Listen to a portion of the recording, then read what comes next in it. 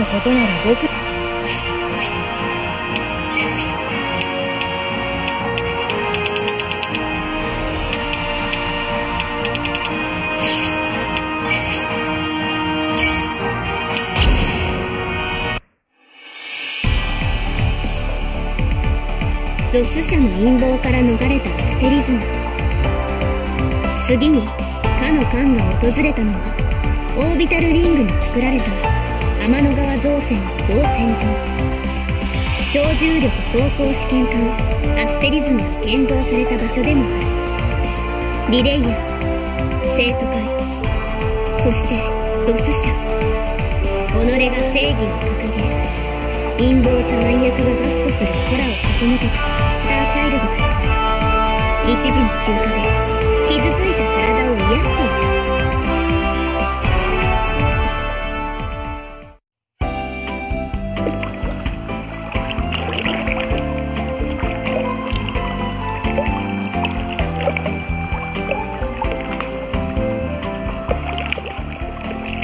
いや絶景かな絶景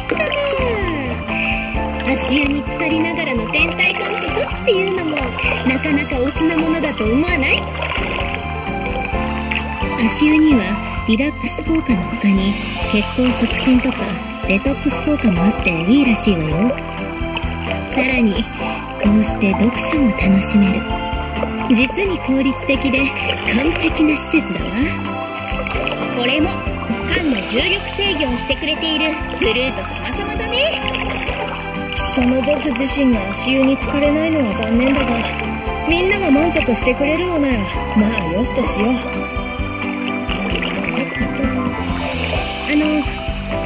ころでなんで私たち足湯に使っているんですか？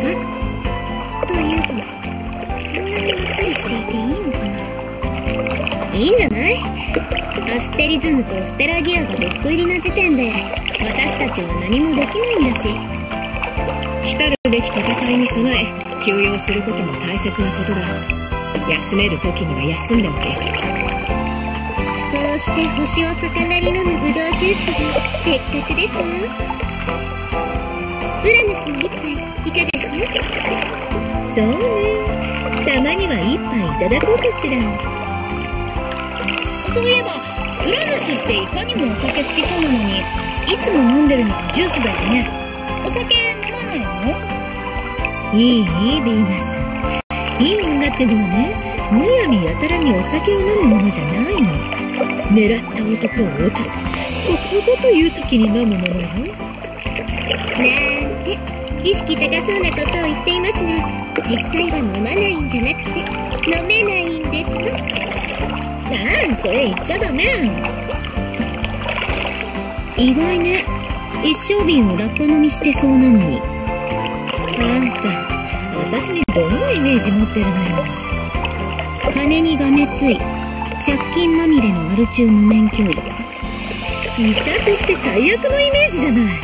それと、私は無免許医じゃなくて、闇医者よ、闇医者。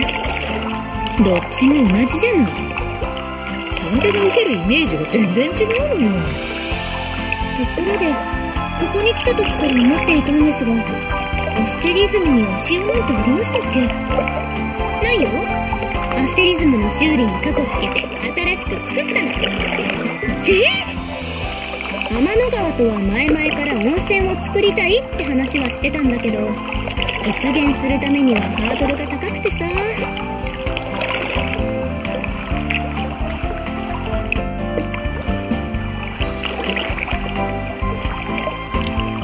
ほら、温泉って男女別だから場所も取るし、水もすごい量を使うでしょでも、やっぱり温泉は欲しいよねってことで、代わりに足湯を作ってもらったの。ほら、ここって天の川財閥の造船ドックだから。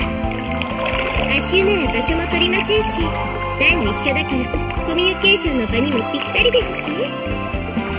改めて聞くけど、これって職権乱用じゃない？金は天下の回り物という言葉もありますし、お金は使ってこそ意味がありますわ。まあ、そうだけど。GT ラボは知ってるの天の川造船が勝手に増築する分なら好きにしていいと、アイザックさん。が言っておりましたわ。アイザックさん、リレイヤー対策以外に興味なさそうだからな。いかにも仕事人間って感じよね。キャリアは魅力的だけど、私的にはつまらなさそうでパースね。温泉って好き？ええ、好きですよ。旅では山奥の秘湯巡りなんかもよくしていましたし、誰もいない大自然の中で、天然の温泉に浸かりながら望む景色は、どこも素敵でした。猿に着替えと荷物を盗まれ、全裸で追いかけたのも、今となっては懐かしい記録です。その時の映像を記録として残していますが、ご覧になりますか？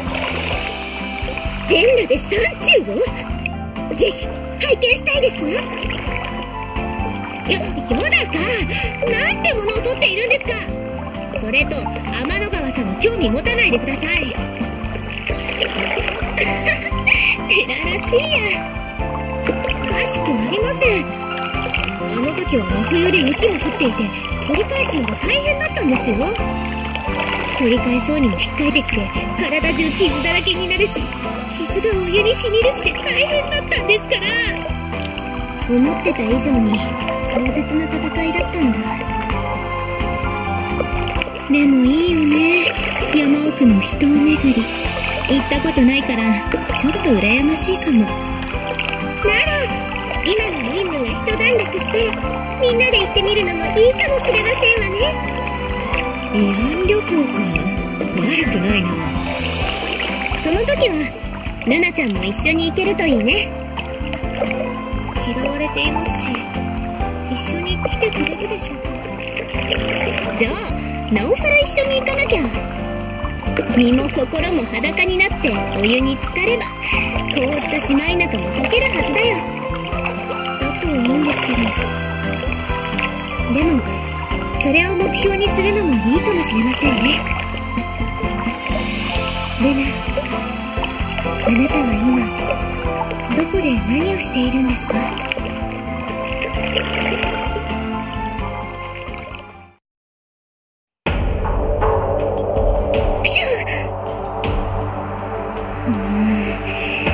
誰か噂でもしてるのかな？お姉ちゃんだったら絶対ぶっ殺してやる。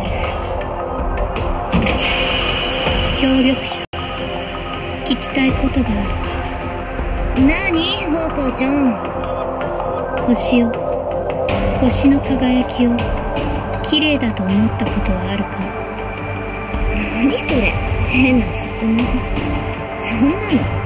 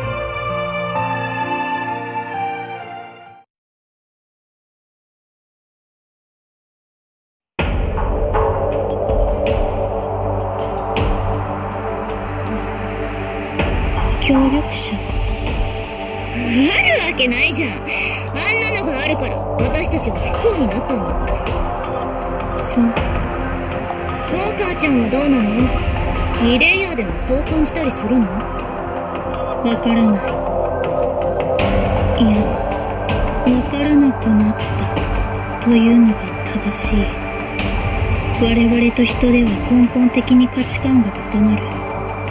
だがお前たち星々との接触が私という存在の何かを変えつつある。それを私は知りたい。ルナ様解析の進捗はいかがですか？オブザーバーという男の言う通りこの機体は箱の鍵となり得るのか結論から言うと成功法は無理ね。調べたけど箱の開け方やメカニズムを示したログはなかったわ。では我々はあの男に踊らされただけそうでもないわよ。箱を構成するエネルギーは1億年前に起こったグランドクロスのエネルギーに由来してるわ。仮に同量のエネルギーをぶつけることができれば相殺は可能かもしれないわ惑星直列が生み出すエネルギー確かにそれならあの箱を形作ることは可能かそして我々ならそのエネルギーを束ね箱にぶつけることもだがそれでは遅すぎるそう完璧なグランドクロスとなると次は何百年い。えそれこそ何億年後ねすぐに箱を開けたければ。惑星を移動させない限りできないわ。まさすがのあんたたちでもそんなゲートを無理だと思うけど。ダークウォーカースターチャイルドを利用するというお前の策はついえた。どうするのだ？儀式に参加している他のリレイヤーたち同様他の方法を探すのかそれともリタイアを申し出るのかどう考えている？力ずくで開ける。ウォーカーちゃん私の話聞いてた？力ずくで開けるの無理って説明したばかりよね。協力者は成功法は無理と言った。ならそれ以外の方法もあるはず。あるにはあるけど失敗すればアフロディーテを復活させるどころか消滅させかねないわよ構それでこの儀式を破壊しすべての同胞に命を狙われることになっても、その混乱が生み出す戦乱と闘争は、私の欲望を満たすネクタルとなる。こんなことを言ってるけど、監督役のあんたはいいわけ？いいわけあるか。血迷ったか、ダークウォーカー。私は主より儀式の監督役を任されたのだ。そして、この儀式が達成することに主の願いがある以上、それを成就させる義務がある。ダークウォーカー、お前がその願いを踏みにじろうというのであれば、監督役として、お前を裁かねばならだから、何？私は私を満たすため、協力者と共に儀式を強行する。よく言ったわ、私が見込んだリレーよ。お母ちゃんの愛機まで、私が送るわ。そして、今更だけど確認。この選択に後悔はない。私という存在はひび割れ、器としての機能を欠いた欠陥を抱えた神秘。ならば、望むのは窮屈な同胞との馴れ合いではなく、己の欲望。それじゃ、はみ出し者同士、一世一代の逃避行と行きますか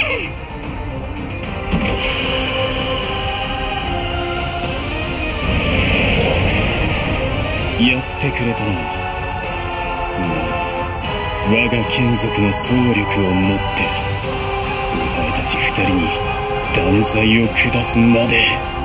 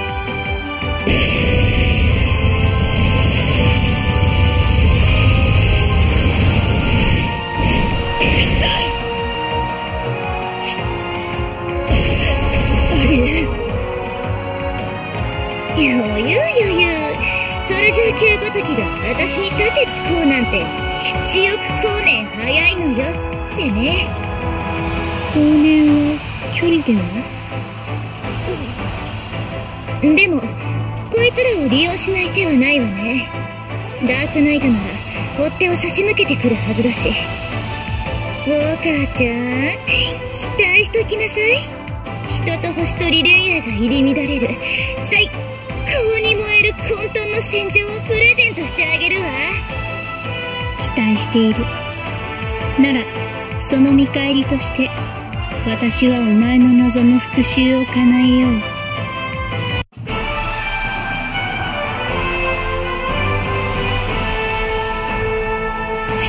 レベルアップ。まるで太陽の輝きが増しやり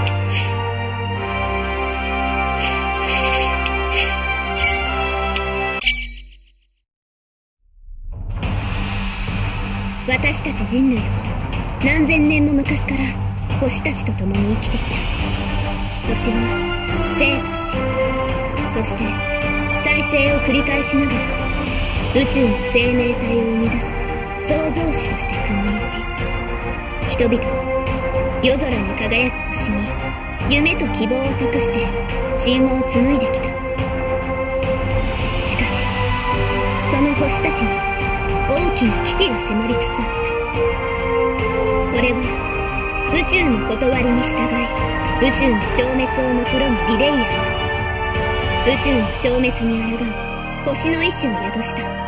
スターチャイルドの物語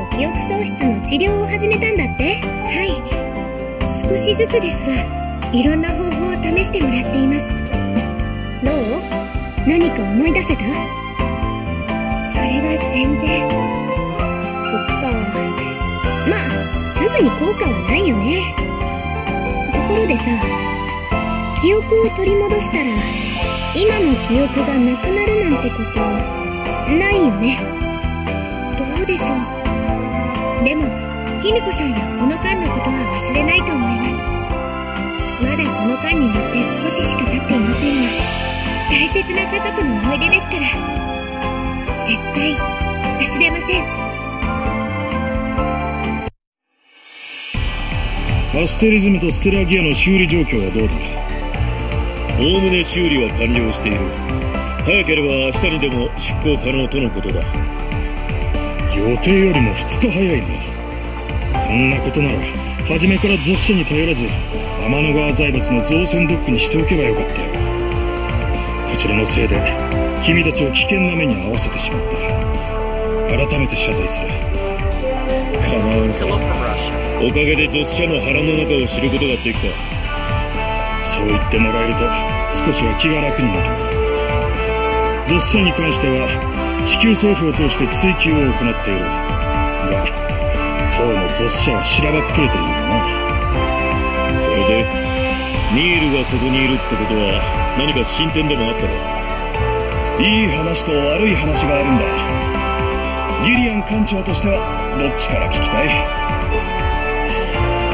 に悪い話から聞こ担当直入に言おう今回の件リレイヤーによるオリジナル1の強奪が地球政府軍のお偉いさんたちの耳に入ったそうだ。間違いなく GT ラボの管理責任を追及しオリジナル1を軍の管理下に移そうとしてくるだろうね。君も知っての通り地球連合政府軍の長官は超タカ派としても有名なグレソン・オールだ彼は GT ラボの設立にも最後まで反対しオリジナル1を政府軍の管理下に置き軍主導の超重力技術開発を推進しようとしていた。そんな奴の手にオリジナル1が渡ったら俺たちもお役御免となるわけだ。君たちどころの話ではない。GT ラボの存在意義が揺らぎかねない軍の行動は議会を通して我々が抑えるその間に君たちは何としてもオリジナル1を取り戻す。ようだ今更だな。元よりそのつもりだ。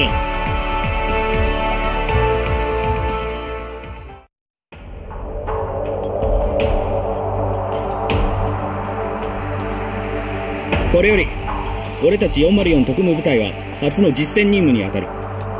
いいか。これは訓練ではない。実戦だそのことを頭のど真ん中に叩き込んでおけそんな説明いいからさ、早く行こうよ、指揮官。GT ラボの新型をばらしたくて待ちきれないよ。エイト落ち着いて。遊びじゃないの？わかってるって。本物より私たちが優れてるって証明するためのデモンストレーションだって言うんでしょ？でもさ、デモンストレーションは派手で過激な方がオーディエンス受けするとは思わない？思わない。もう、ナイルったらノリが悪いんだから。でも、そういう冷めてるところ好きだよ。まずは先行してスターチャイルドたちが母艦から出てきたところを叩く？ただしお前たちには戦闘継続時間という縛りがある長引かせると面倒だ全員短期決戦を心がけるんだ。警告はしないのかい？エイトの言うようにこの任務は君たちサテライトの有用性を地球連合政府議会に示すデモンストレーションだ。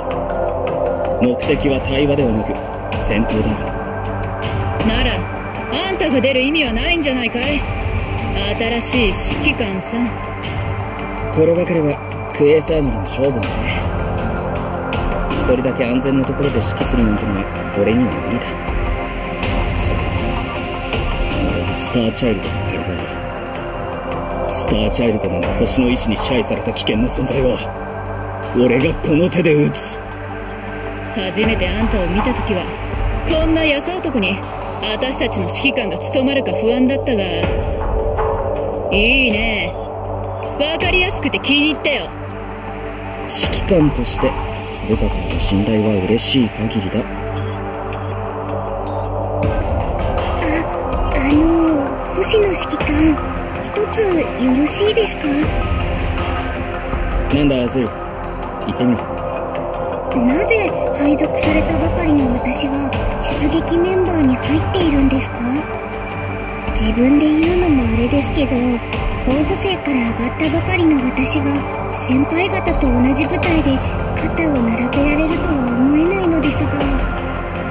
何実戦経験は早いうちに積んだ方がいいと思っただけだ安心しろ。俺はしてやるは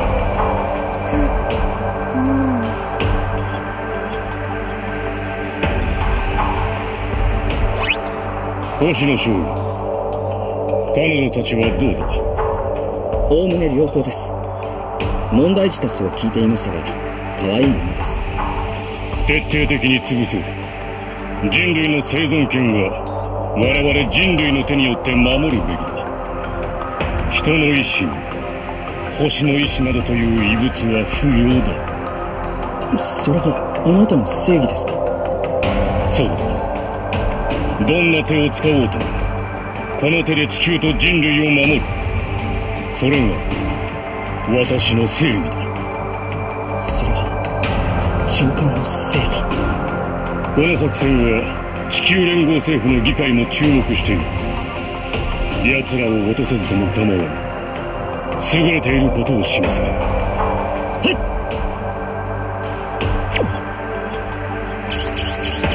し時間だ。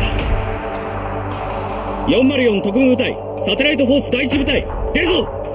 前期俺に続け!こ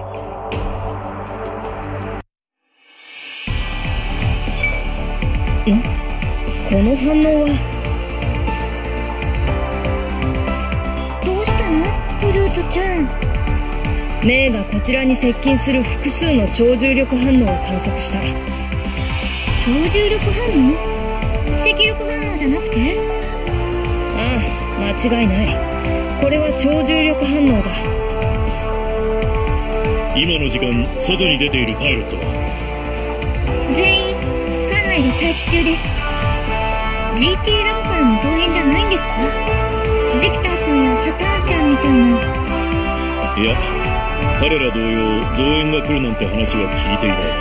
それにスターチャイルドが近くにいるのはすでにキミコが気づいているは生徒会や雑誌社の件もあるあくまで僕の試験だが警戒するに越したことはないと思う。ずだ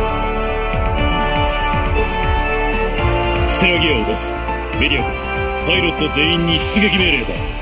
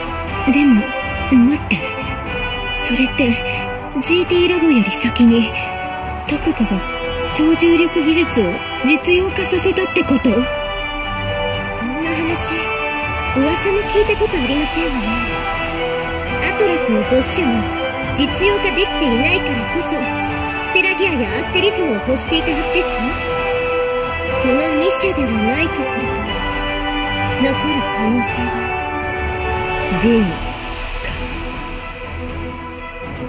あれが GT ラボの新型。超重力推進装置を搭載したスターチャイルド専用機。せっかくだし、一機くらい露私たちでも使えるんだしさ。興味ない。やるなら一人でやって。もう、マイルは付き合い悪いんだから。私は乗ってやってもいいぜ。前々から GT ラボの新型には興味があったんだ。これからリレイヤー相手に戦争しようってんだ。使えるものは奪ってでもいただくさ。さあさあ、素人パイロットが乗って使うよりも私たちの方が有効活用できるもんね。おしゃべりはそこまでだ。先にこちらから仕掛けるぞ。了解。撃ってきました各機参加して迎撃に当たれ相手はクエーサーといえど超重力技術が使われている機体だ油断はするな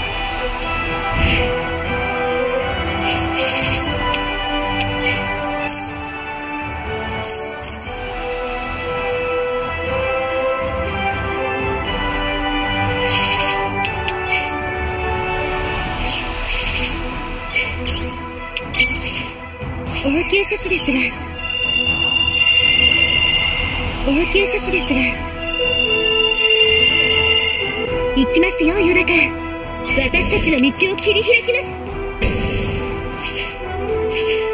綺麗に一掃して差し上げますわ。相手をしてやろう。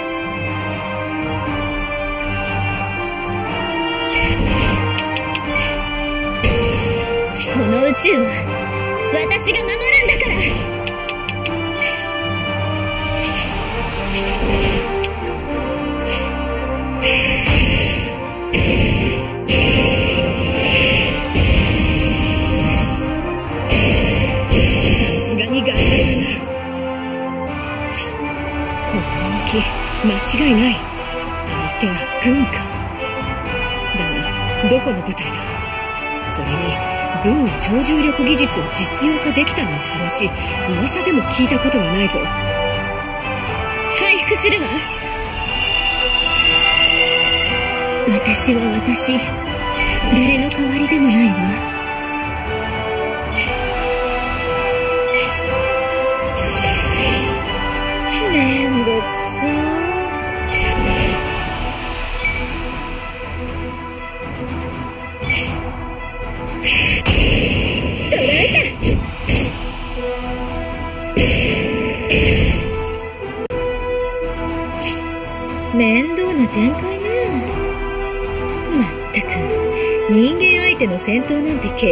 ってないんだけど。ちゃんと報酬は出るんでしょうね。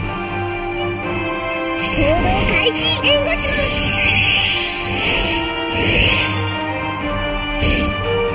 行動を開始する。修理します。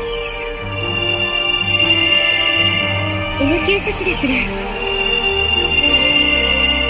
行きますよ、ヨダカ。私たちの道を切り開きます。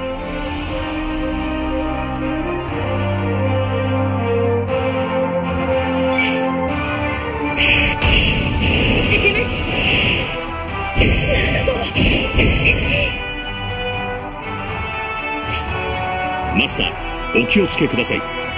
陶器の分析では、超重力推進装置の生み出す機動性に加え、熟練された操縦技能を持つパイロットのようです。それなら私も感じています。ミンタカさんとは違った熟練された操縦技能と訓練された組織的な動き。これはそうサーさんの動きに似ています。正直に申し上げますとマスターがそこまで分析できていたことに驚きを隠せません。そしてマスターの分析が正しければ相手は正規の軍人ということになりますね。この名に恥じない戦いをするさ。らされたいのは誰？ではエレガントに。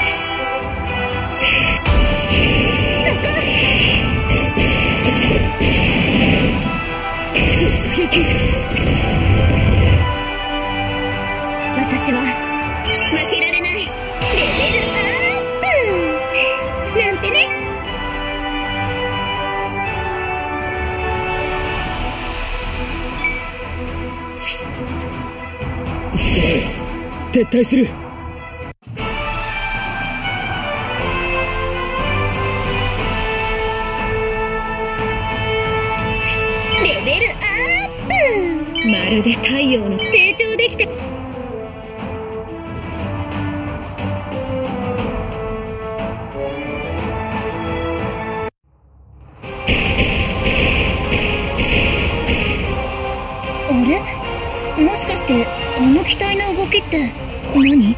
知り合い？昔の先輩かも。ちょっと確認してみる。待って、確認って。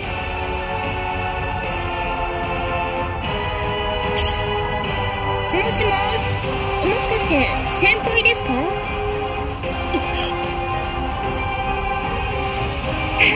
その息遣い、やっぱり先輩だヘイト、前なのか。やだな先輩。少し会わない間に私のこと忘れちゃったんですか？あのパイロットサンちゃんの知り合いなの？あああ軍時代の。私の後輩だ。てか、先輩って政府軍時代はアサルト乗りでしたよね。なんでタンクなんかに乗ってるんですか？おまけに、いつの間にか軍を辞めてるし。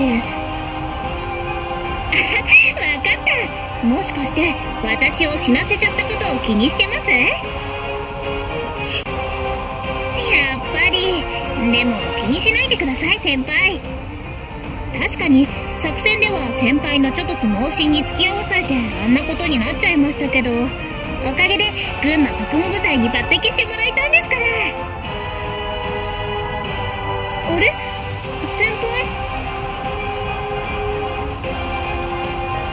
動きが止まった？いけませんマスター。三小隊長の機体の動きが止まっています。至急援護に分かっています。間に合って！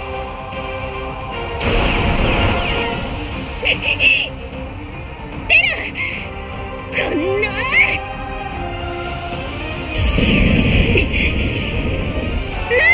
大丈夫？まあ平気。直撃は外してくれたでもあのパイロット生意気大丈夫ですかマスター？ええ大丈夫です。装甲の一部が損傷しただけみたいで。す試作機としての熱い装甲が功を奏しましたね。ですが自らを盾にするような戦い方はあまり褒められたものではありません。彼女たちの時間を考えるとスターチャイルドを落とさなかったら十分に彼女たちの価値は示せたはずだ前期に通達残念だが時間だ。全員戦闘中断だ。うん了解。ごめん指揮官今がチャンスなんだよね。エイトこれ以上傷物にはしたくない。コックピットを潰せ。ピンポイントに。できるなん体の真ん中からでもバラすのは得意なんだよね。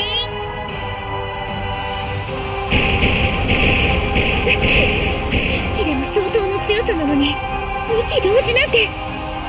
敵の攻撃がコックピット付近に集中しています。注意を。分かっています。ですが。指揮官の命令に従ったのは私たち二人だけみたいだね皆さん指揮官の指示が聞こえていないんでしょうか？停戦命令を無視して交戦って命令違反じゃ。彼女たちの副作用の話を聞いていた。がここまで好戦的とは星野将軍向こうの艦長と話がしたい。通信をつないでくる。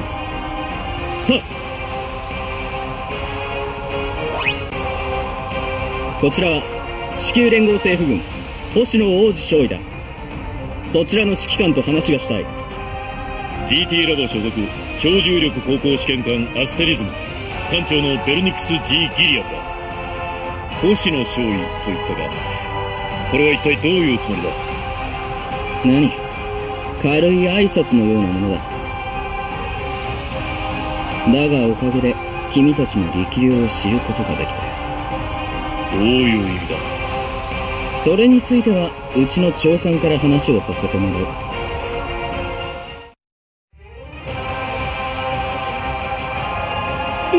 なんだあれはあんな巨大なステルス機いやステルス機型のステルス性能を持った母艦なんてデータベースにないぞ。ステルス航行母艦エバレット・ヘイル噂には聞いていたが完成していたのかなら奴の言う長官とは。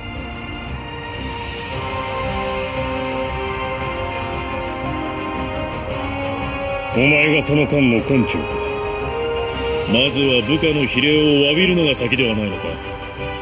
君たちが当たっているオリジナル1奪還の任務は我々軍が引き継ぐことになった。すでに議会で可決された決定事項だ。機関に拒否権はない。すでに軍が動いていたか我々 GT ラボが地球連合政府傘下の組織である以上議会の決定であるならそれに従わざるを得ない。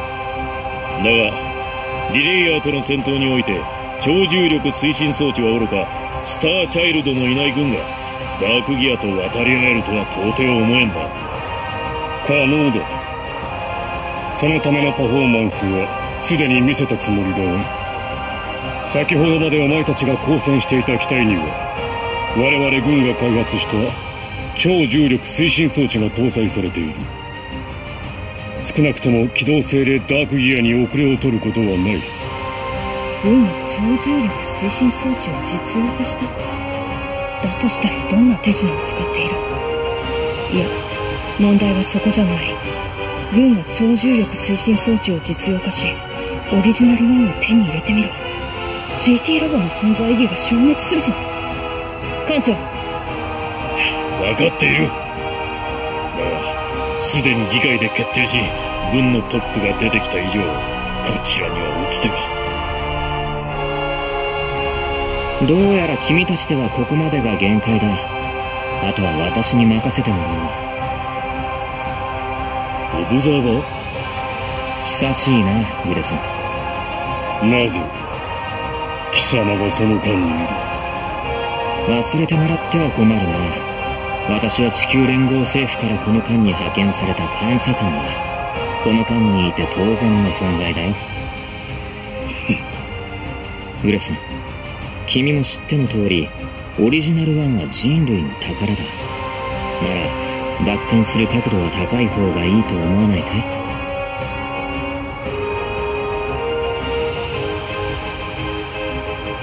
貴様ほどの男が連中に肩入れするつもりか。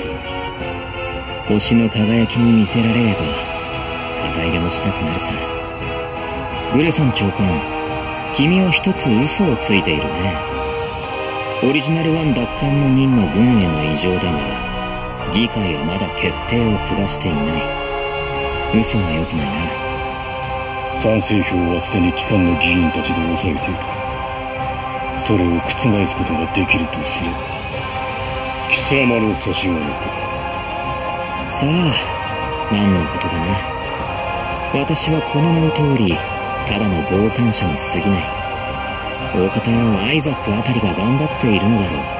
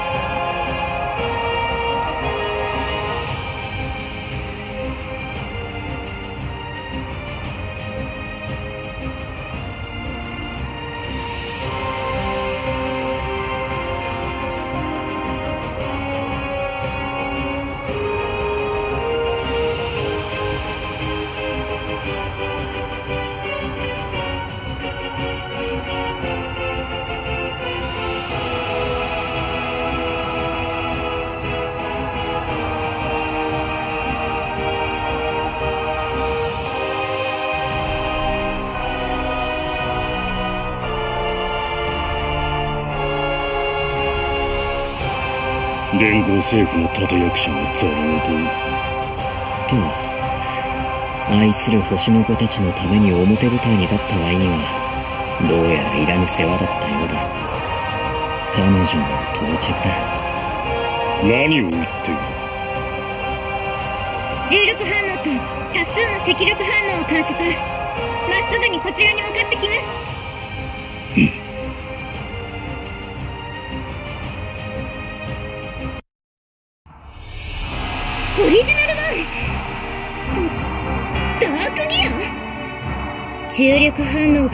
と思ったらこういうことだったのね。クソジジイがまたくだらないもの作って。ルナ注意3万隙を見せたね。もらった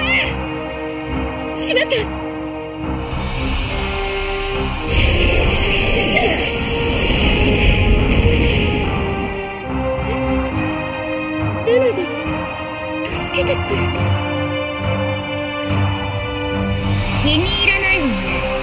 意味語のくせに私の獲物を横取りしようなんて。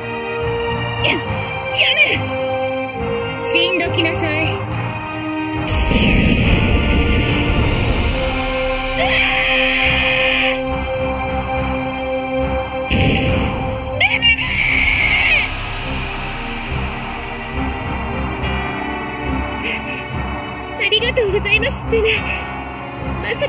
が助けてくれるなんて。勘違いしないでくれるあんたは私がこの手で殺さなきゃ意味がないの。別に生きていてほしいわけじゃないわと今回は招待状を渡しに来たんだったはいこれ。これは暗号化されたファイル？オリジナル1を返してほしければ。このファイルの示す座標に来なさい。もしたどり着けたら先着1名様にこの機体を譲ってあげるわただし私を倒せたらの話だけどね。いや貴様はここで俺が倒す月のスターチャイルド普通のクエーサー。一般人のくせに威勢のいいのがいるじゃない。けどね私とあんたじゃパイロットとしての年季と機体性能が違いすぎるのよ。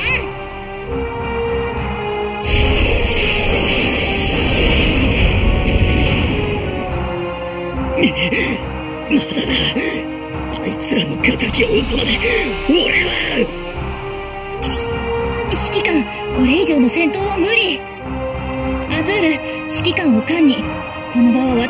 とかする。わわかりました。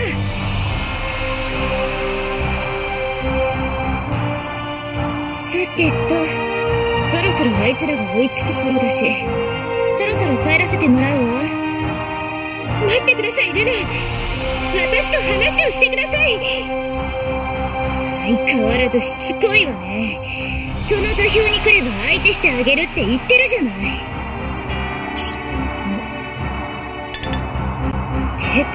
てかあんたなんで今更そんなのつけてるの？新手の嫌がらせ？違います。これはあなたが私の誕生日にくれたプレゼントで私に残されたたった一つの大切な私物だから。ねえお姉ちゃん。その年の私の誕生日に何をくれたか覚えてる？そのネックレスのお礼に一生忘れられない敵なプレゼントをくれたよね。ごめんなさい覚えていません。そうよね。あんたには些細なことすぎて覚えてないわよね。なら教えてあげるわ。忘れもしない。2年前の12月20日雪の降った私の誕生日。あんたはそのネックレスのお礼にプレゼントをくれるって。私を星の家の外に呼び出した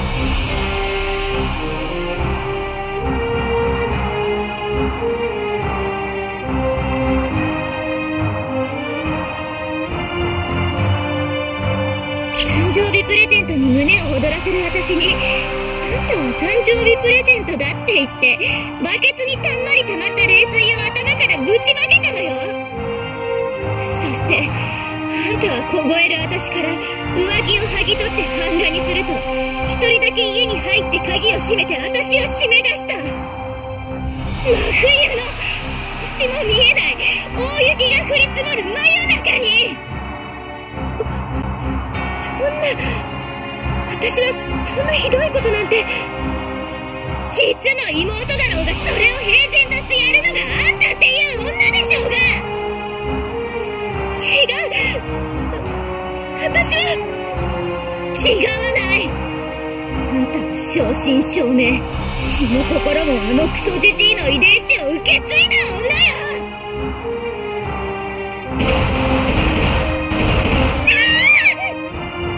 あえて今はとどめを刺さないであげるわその代わり、この機体が欲しければ、必ずその座標に来なさい。そこで、全てを生産する。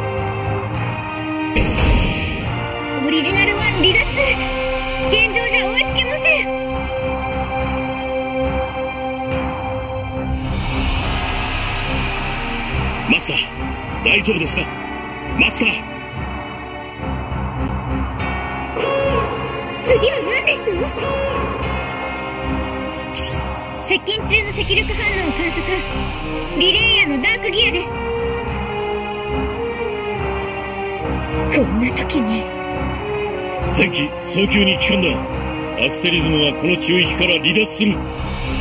リレイヤーはどうするの？軍に任せる。確か404特務部隊と言ったかリレイヤーとの実戦はこれが初陣のはずだなら存分に実戦経験を積んでもらう。要は押し付けるってわけね。わかったわ。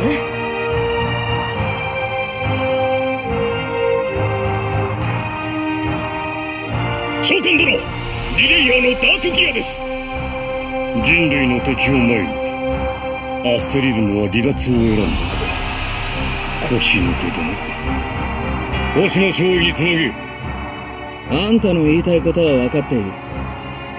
すでに待機中の隊員もコックピットだ。あとは、あんたの一言だけだ。ならば行け人類の生存権の勝者は星などではなく、我々人類なのだと、奴らに知らしめてやる。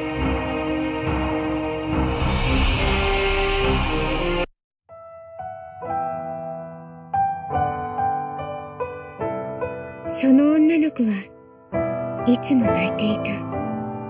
生まれながらの境遇、自身の不出来、誰かとの別れ。彼女が涙を流さない日はなかった。お礼って言ってたし、きっと私の思いが届いたんだよね。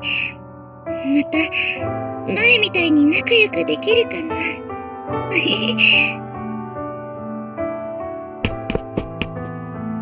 ハッピーバースデー、ルナ。あんたへの誕生日プレゼント、気に入ってくれた？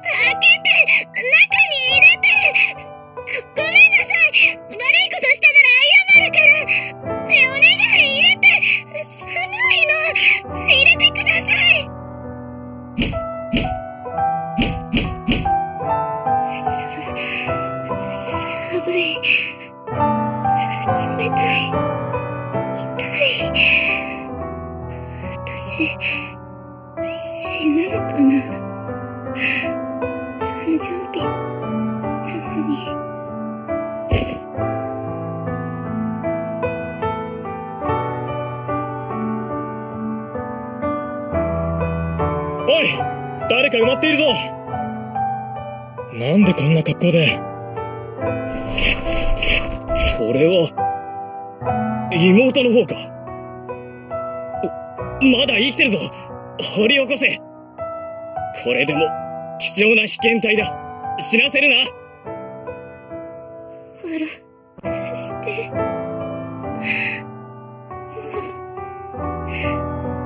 辛いの。やだ。まるで、世界中の不幸をすべて背負ったような、かわいそうな泣き虫の少女。はあ、私に、差し出せる手があれば、涙を拭う指があれば、そうだ。私は、あの子を笑顔にしたくて。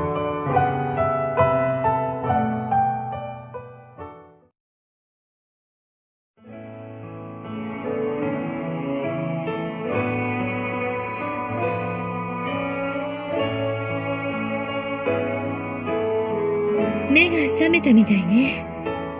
まあ、軽い脳震盪みたいだし、しばらく安静にしてれば問題ないわ。テラ、大丈夫？その、ルナちゃんとの通信で、あの、心配、ありがとうございます。でも、私は大丈夫です。我慢しないで。ルナちゃんが言ってたことが全て真実とは限らない。だとしても、あの内容は、夢の中で、私のルーツを思い出したんです。テラのルーツ。ルナの言っていたことは全て真実です。それは、私の思い出した記憶にもありました。あんた、おとなしい顔してやることえぐいわね。ウレヌスあの日の夜、悲惨な光景を見て私は思ったんです。あの子を笑顔にしてあげたいって。それが、私のルナへの思いのルーツ。ちょっと待って。あんたの話、すべて真に受けるわけじゃないけど、あの子が話した出来事の一部始終を見ていたのよね。はい。じゃあ、あんたは誰なの？わかりません。ですが、今の私が私であるルーツは、あの時のルナを笑顔にしたいという思い。その思いがあるから、私は私として歩き続けることができるんです。なんだ、心配してたけど、メンタルケアはいらないみたいね。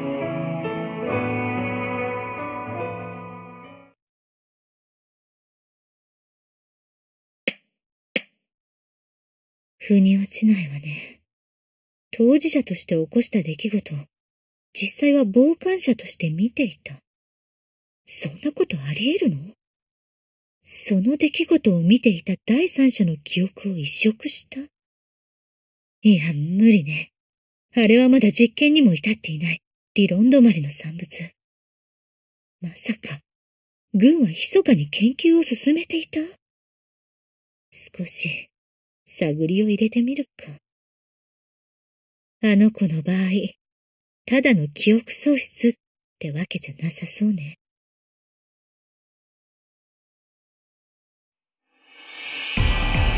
軍の件はすでにオブザーバーから聞いている。こちらが不甲斐ないばかりで迷惑をかけた。すまない。気にする必要はない。さすがのお前でもあの男が相手だよな。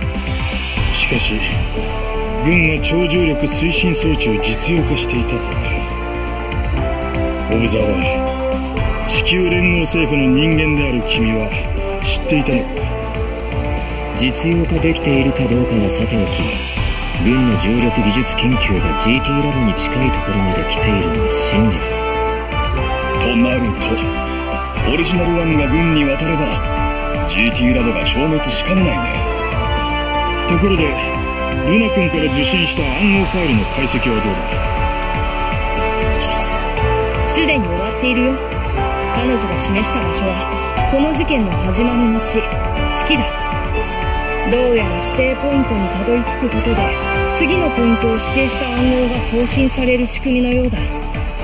やつめ、一体何を企んでいる？まずいな。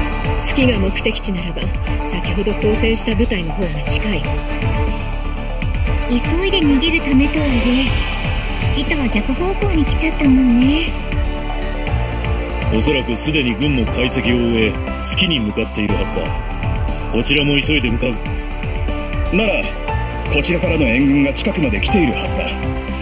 道中にでも合流してほしい。それってジュピター君とサタールちゃん？残念。外れだ。彼らは未だ音信不通なんだ。ほんとどこに行ったのやら。もしかしてまだ生徒会を探してるのかな？なら残るは情報局。そうハレー君さ。本部勤めだけど彼のパイロットとしての腕はなかなかのものだ。ぜひ彼の腕を役立ててくれ感謝する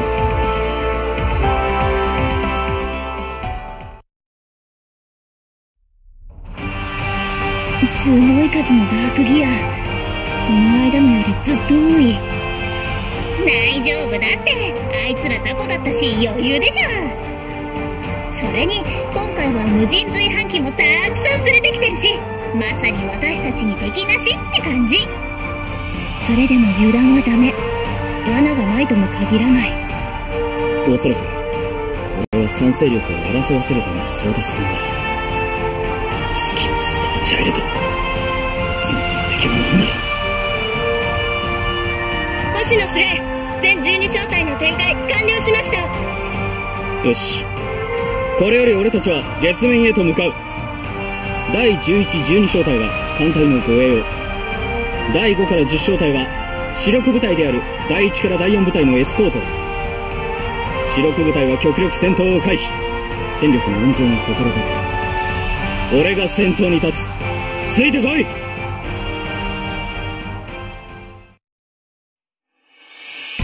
すまない。先の戦闘では情けないところを見せてしまったなそしてテラ身を挺して守ってくれて感謝する。気にしないでくださいいつもサンさんがしてくれていることですからたまにはこっちもお返ししないとですしでも驚いたよサンちゃんにもこう後ろめたい過去ってあったんだね卑弥呼言い方あごめん。構わないさ。現に卑弥呼の言う通りなんだ。お二人の会話を聞かせてもらいましたが、親しい方のようでしたね。彼女の名はエイト。軍人時代の私の後輩だ。いや、後輩だったと言うべきか。彼女は確かに、2年前に参加した紛争で私をかばい、死んだはずだった。なのに生きて、軍の他の部隊に行った医師としての観点から確認するけど確かに死亡していたの戦場は特に特殊な環境だから素人の見間違いが多いのグーイが確認しているそれにあの時エイトの体はコックピットで押しつぶされていたそうじゃあさ双子の姉妹だったとかは？エイトに姉妹はいなかったはずだ。それに姉妹がいたとしても、あのお調子者の口調はエイト本人で間違いないだろう。じゃあさ、記憶を引き継いだクローン人間ってことはない？ほら、よく SF 小説とかでもあるし。お前ら、創作物に毒されすぎだろ。そうするに至った理由は不明だけど、死が偽装されたものだったという線は妥当ね。死人は決して生き返らない。疑うべきは検証。ああ、私もそう思う。死人は生き返る。生き返ってたまるものか。ねえ、卑弥呼。念のために確認するけど、確かに彼女たちからは星の意志を感じなかったんだよね。うん。あれだけの重力推進装置搭載機がいたのに、誰一人として星の意志は感じられなかった。その、エイトって子？うーん、だとしても麻薬が超重力技術研究でうちを追い越せるとは思えないんだよね。整備部の皆さんは何て言っていますのおじいちゃんは今あるデータだけじゃ何とも言えないって。他のみんなはマーキュリーたちが集めたデータを血眼で調べてる。機体とパイロット。この手品の種は一体どちらですか？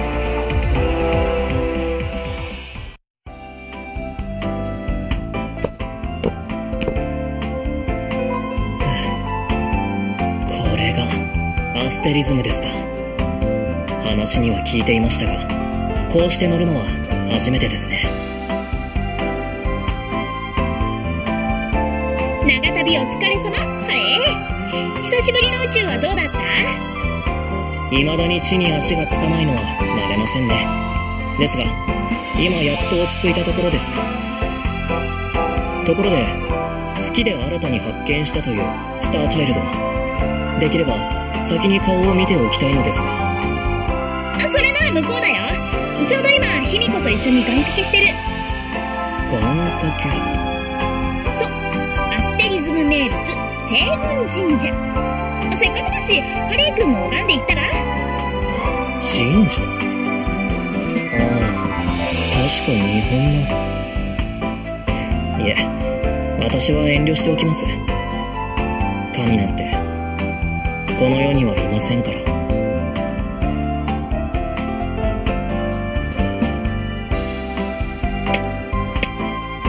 オリジナル1を取り戻せますように。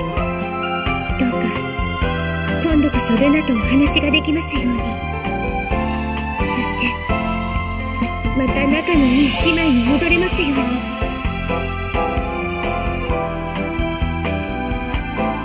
当期のデータベースによると神社にお参りする際は願いではなく感謝を伝えたり誓いを立てるものだとされています。熱心に祈っているところ水を差すことになりますが指摘した方がよろしいのでしょうか。そいつは破って飲んだぜよだか祈り方なんて人それぞれだ。大切なのは願いに対して努力しているか。ここの神さんはずっとあいつらを見てきているんだ。きっと叶えてくれるはずだ。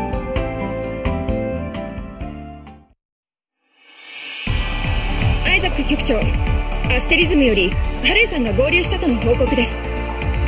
間に合って何よりだ。これで成功の角度が少しでも上がるといいのだがアイザックこんな時だがテラ君に関して重要な事実が判明した。聞こう。ウラヌスが送ってくれたテラ君の遺伝子データから血縁関係がある人物が判明した。かもなかなか面白い経歴。いや立場を持っている人のようだ。はいこれ調査データ。クロソンオーダーあの男じゃないか。そうだ。GT ラボを目の敵にする。地球政府軍きっての高派にしてさっきまでテラ君たちがやり合っていた相手さ。待て確か彼には軍の幹部候補の一人息子しかいなかったはずだ。確信はだろうね。奥さんの遺伝子データとは一致しなかったし。普通なら単なる不倫だけど今回ばかりはきな臭さしかない。となると妹のルナも同じか。母親が同じかはわからないけどおそらくそこは重要ではない。グラビティロスが発生した都市に住んでいたことも含めてそれとも別の何かがあるのか。そこから先はこれからの調査だ。まさか身体検査でこんな大物が釣れるなんて驚いたよ。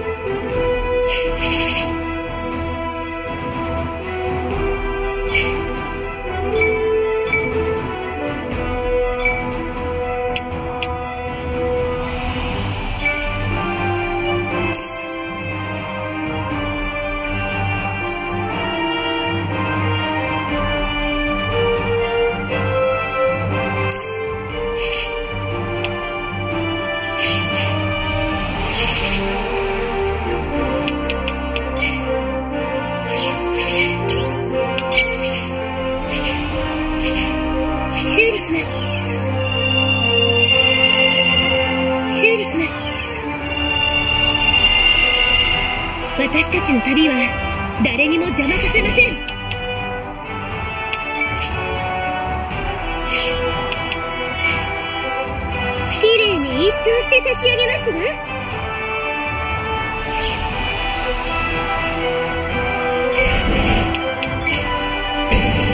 ファーストスタートして。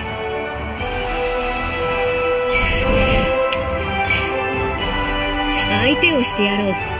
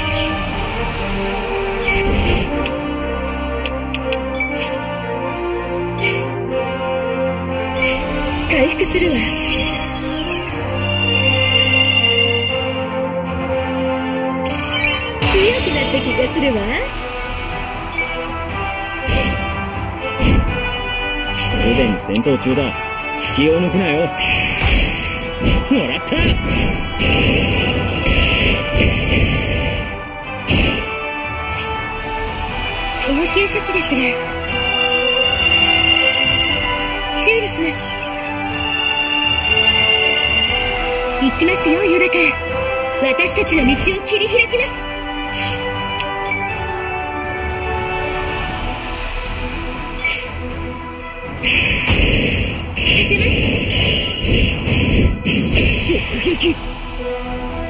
私は歩き続けます。レベルアップです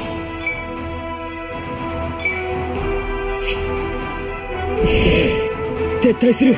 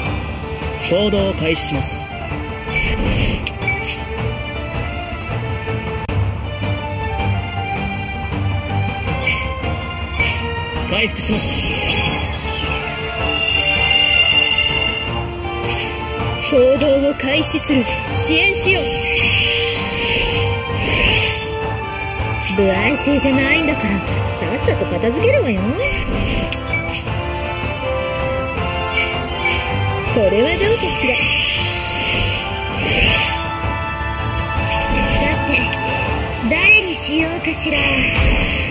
スターチャイルド私一人でいい。一つ直撃。この私が綺麗に一掃して差し上げますわ。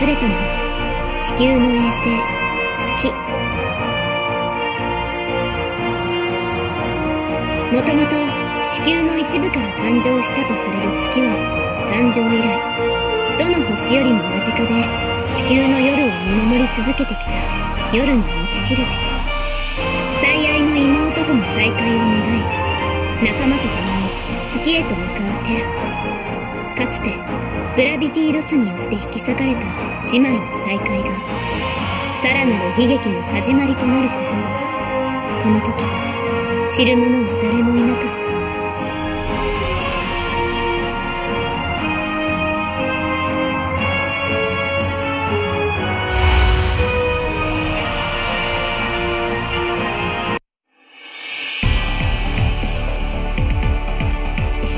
出撃前に今一度作戦を確認する。これより私たちが向かうのは地球の衛星。月だ。私たちの目的はルナの指定した場所にフルートの解析した暗号を手がかりに接近しオリジナル1を確保奪還することだ。いいか？目的はあくまで奪還だ。パイロットを月のスターチャイルドを殺してはならない。なぜならリレイヤーと共に行動してきたため奴らに関する何らかの情報を持っているからだ。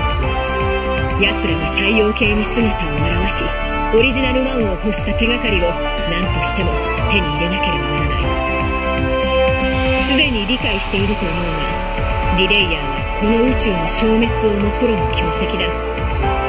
奴らの暗躍に対し後手に回ることが地球圏、ひいては人類の生存権の消滅につながると思え。いいな。リレイヤーだの軍だの言っている場合ではない。人類そのものの存亡をかけた作戦だということを忘れるな。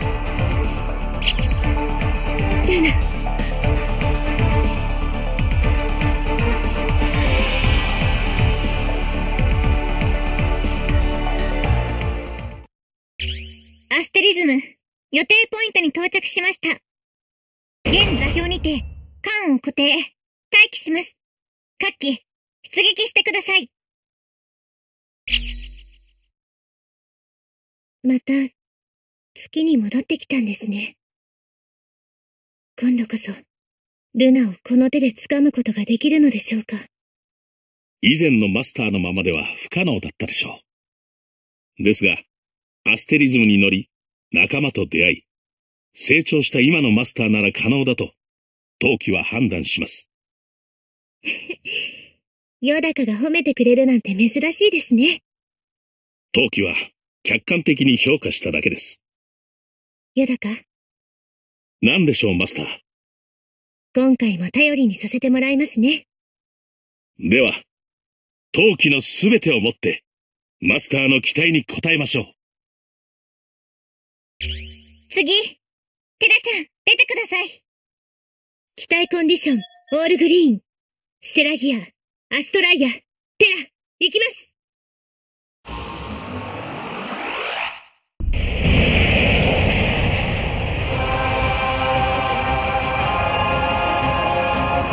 惨状は予想以上だ。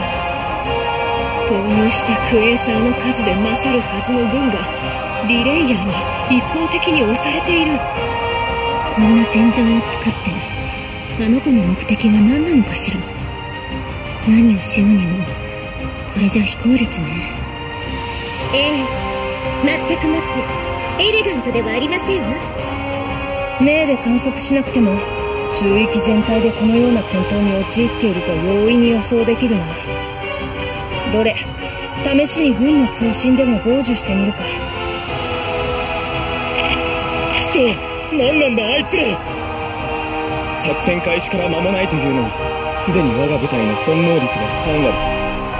奴ら本当にテロリストなのか恐れるな恐怖心こそ最大の敵と思え訓練を思い出せテロリストを恐れるな敵が防衛線に突撃してきます防衛線持ちませんだ、ダメだもう、持たない助けてくれなるほど。軍のシナリオでは、リレイヤーはテロリストになっているのか。軍が一方的にやられているなんて。分かりきっていたことだ。だからこその私たち、スターチャイルドであり、ステラギアだ。こんな状況でも、軍はまだ作戦を続けるつもりなのかなブレスのオーダー長官、あの男が直接指揮する作戦だ。特務が目的を果たすまで引くことはないだろう。だが、私たちにとってもこの状況はまずいな。これだけ戦場が広がっていては、戦闘を避けて月に近づくのは困難だ。まとまって行動すれば、目立って攻撃対象になる確率が上がるし、分散すれば、かっこ撃破される可能性も上がるわ。少数精鋭の辛いところですわね。カレンさん、何かいい案ない？こう、情報局なりの画期的なアイデアとかさ。ありません。それに何ですか？情報局なりの画期的なアイディアって。何やら誤解しているようなので、この際説明しますが、情報局というのは、秘密情報の収集や情報工作を行う部署です。はい、すみません、でした。とはいえ、この場にいたところで状況が好転するとは限らないむしろ軍のクエーサーが減ったことで悪化する可能性すらあるなら突撃ってわけね。いいんじゃない？弾の節約にもなるし。もしもリレイヤーに捕捉されてもトレインして政府軍のクエーサーになすりつければ戦闘は避けられますわね。リアルで MPK をするってわけね。涼しい顔して考えることは多いね。あら私たちにとってはエレガントな作戦だと思いますトレイン MPK? モンスタープレイヤーキル。略して MPK オンラインゲーム用語の一つです。大量のモンスターを誘導し他のプレイヤーになすりつけるなどして襲わせる行為です。オンラインゲーム上では推奨されない行為ですが現在陶器たちの置かれている状況では最適な作戦だと思われます。目的のために他者を犠牲にする以上気乗りしないのもわかるだが現状では手段を選んでいる余裕も猶予もないのだ。そうですね。そういえばテロルナちゃんからの暗号は？まだ来ていません多分ですがある程度指定された座標の近くに行くと自動で次の暗号が発信されるんだと思います。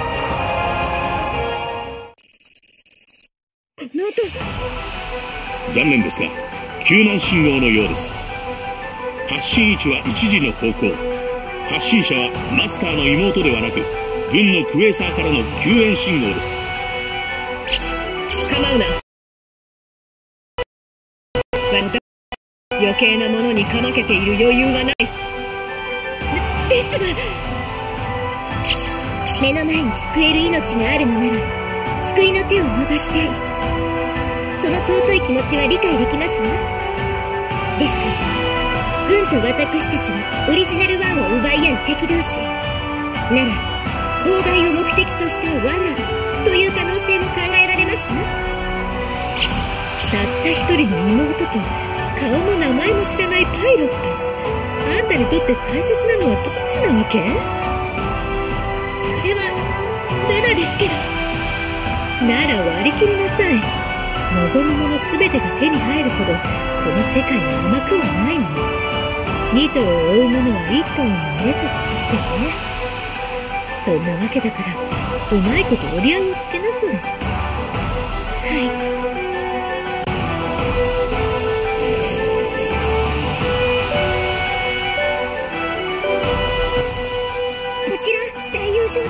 正体のアズール機体がシステムダウン中誰か救援をお願いします。お願いします。誰か助けてください。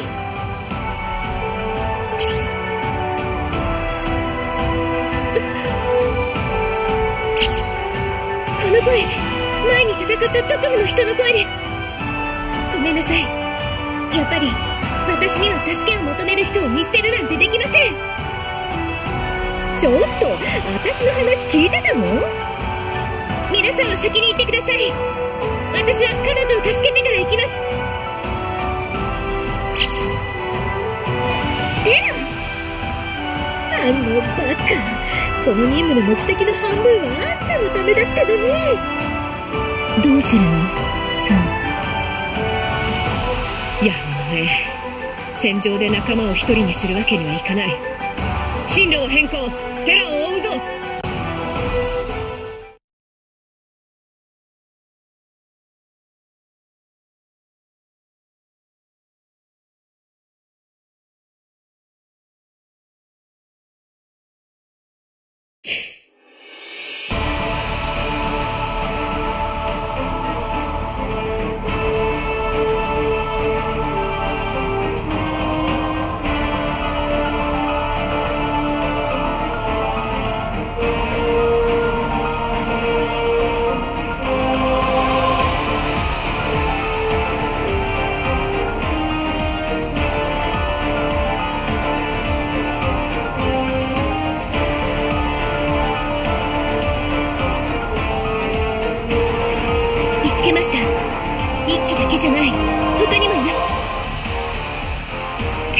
損傷具合から見てパイロットが生存しているのは2機のみのようです。その機体は GT ロボほう人間を釣るつもりは星が釣れた。とブラックエネミーどうやら敵の罠にはめられたようですね。餌としての役目を果たしたんだ。見逃してくれるんだよな。ああ約束だ。解放してやろう餌役ご苦労だ。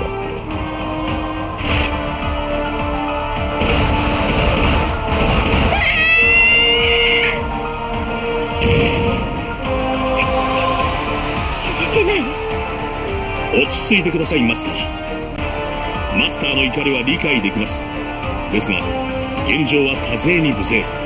優先すべきはこの状況を脱することです。当期の演算予測ではマスターだけであれば約72%の確率でこの場からの離脱が可能です。ならその方法は却下です。彼女を助けに来たのに見捨てて逃げることなんてできませんから。ルナだけじゃない。この手で掴んだ手は二度と離さないってあの日に決めましたから。なんと傲慢で欲深い人でしょうか。理想をなす力もないのに掲げる理想は誰よりも高くそして欲深い。ですがそれでこそ陶器のマスターにふさわしいというもの。陶器の全力をもってサポートします。ベラ卑弥呼さんどうしてここに月に向かったんじゃないんですか？言ったはずだよ。カンの仲間は家族だって。大切な家族を一人だけ置いていけないよ。前期に通達これよりあの機体の救援を行う。絶対に落とさせるな。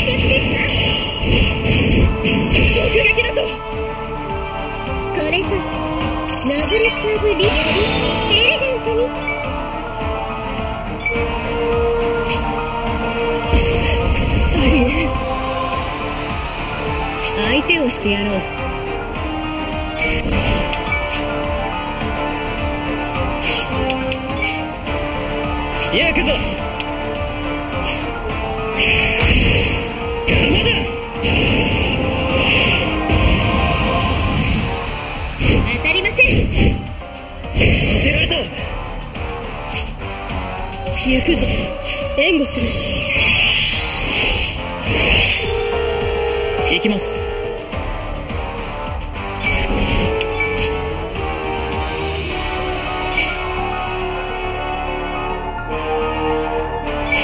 ECM 展開。アズール行きます。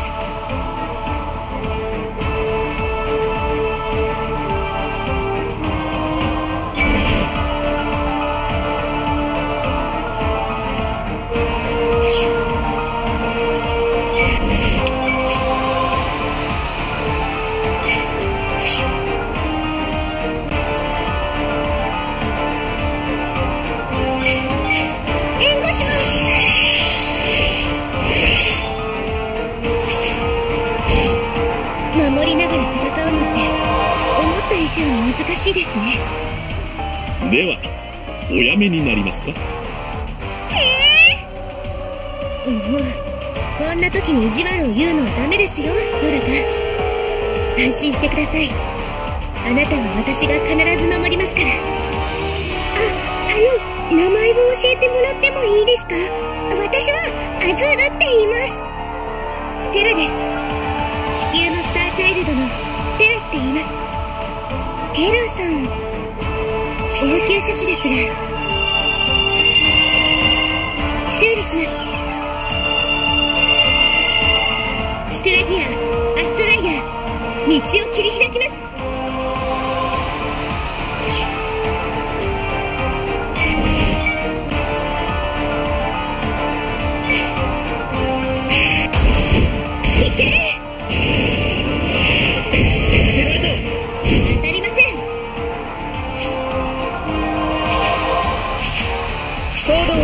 動を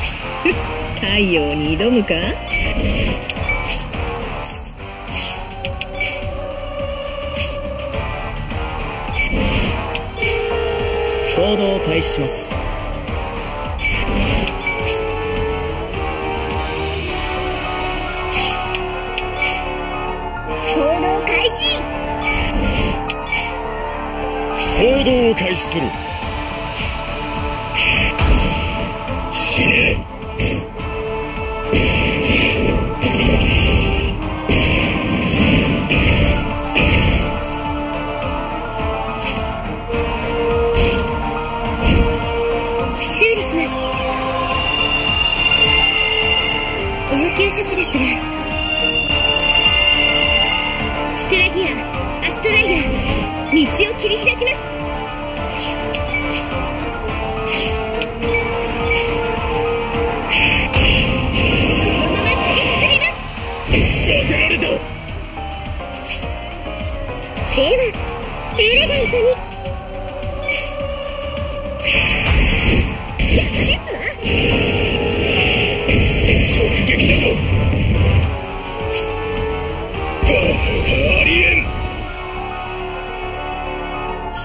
終了。目的達成ですマスター。ですが浮かない表情ですね。どうされたのですか？助けを求めた人はもう一人いたんです。彼女は自らの保身のためとはいえマスターを罠にかけることにためらいはないようでした。そのような敵意ある者をマスターが気にする必要はありません。ですが。少なくともマスターは救いを求める。彼女を手を離すことはなかった。それでいいではないですか。ええ。そうですね。ユダカの言う通りです。見ぼれが過ぎていました。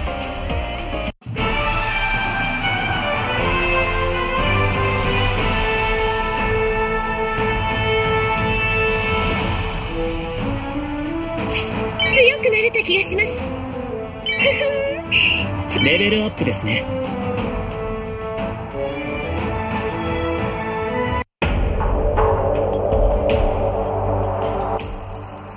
マスター。信号受信。これはルナからです。受信した暗号をアステリズムへ転送します。プルート解析をお願いします。了解した。我が友よだかすぐに解析に取り掛かる卑弥呼今から僕は解析に専念する。少しの間ナビから外れるぞ。うん分かった。解析お願いね。では私は露獲したこの機体をアステリズムへと連れて行きます。くれぐれもその期待をお願いします？任せてください。彼女とこの機体は私が責任を持ってアステリズムへと連れ帰ります。これであいつについて何か分かればいいんだが。待たせたな暗号の解析が完了した。早っ！秒じゃん少しの間と言ったはずだ。この程度の暗号の解析に3分以上かかるようではアステリズムの管理者は務まらんよ。プルートさんんですか？ルナはどこにいるんですか？そうせかすなだって早くしないとルナが。南緯5.9度統計179.4度。これが月のスターチャイルドが示した座標だ。これって月の裏側だよね。そうだ。ダイダロスクレーター。この場所が月のスターチャイルドに示された地だ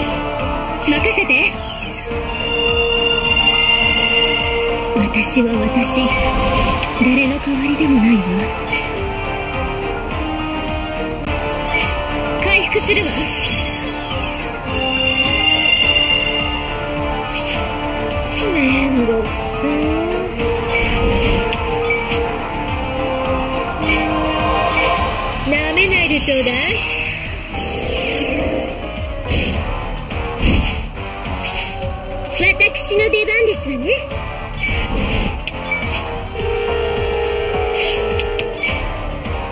この宇宙は私が守るんだから。あげていくよ。相手をしてやろう。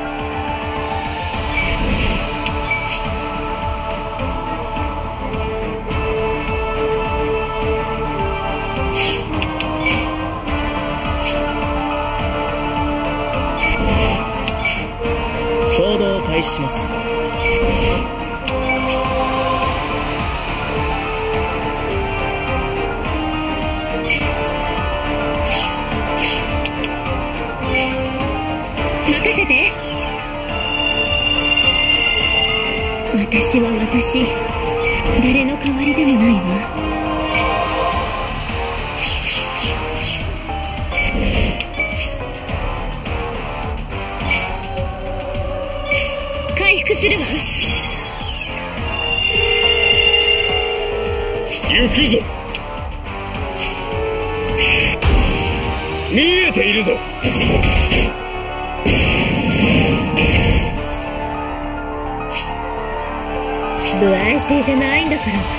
さと片付けるわよ。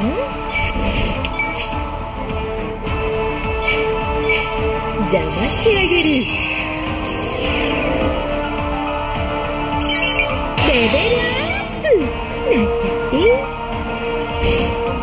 くぞ。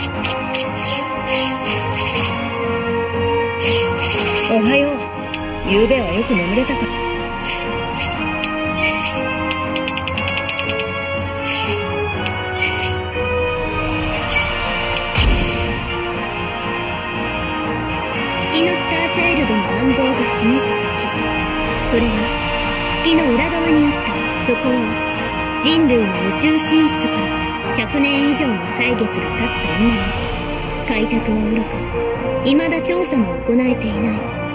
まさに人類未踏の地。しかし、スターチャイルドたちが月の裏側へとたどり着いた時には、すでに遅し。軍とリレイヤーの正中権をかけた戦いが繰り広げられていた。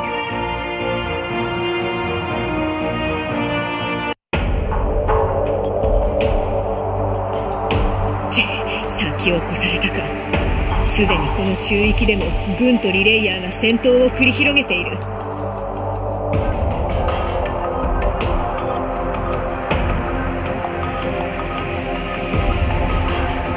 嫌な感じ。珍しく星々がざわついてる。気をつけて。何万光年も遠くにいる星たちがざわつくほどの何かがいる。私も感じます。ここでは、今までと比べ物にならない数の生命が、今も次々と失われています。今までいろんな戦場を見てきたけど、こんな戦場は初めてね。まるで凝縮した悪意が、この戦場にいる全てを飲み込もうとしているみたい。待って、軍とリレイヤーの動きがおかしいわ。この動き、まさか。そっちの観測はどう？ああ、君の予想通りだよ、マーキュリー。これは、互いに戦ってはいるが、別の何かとも戦っている動きだ。星の瞬きが止まった。みんな、気をつけて何かが来る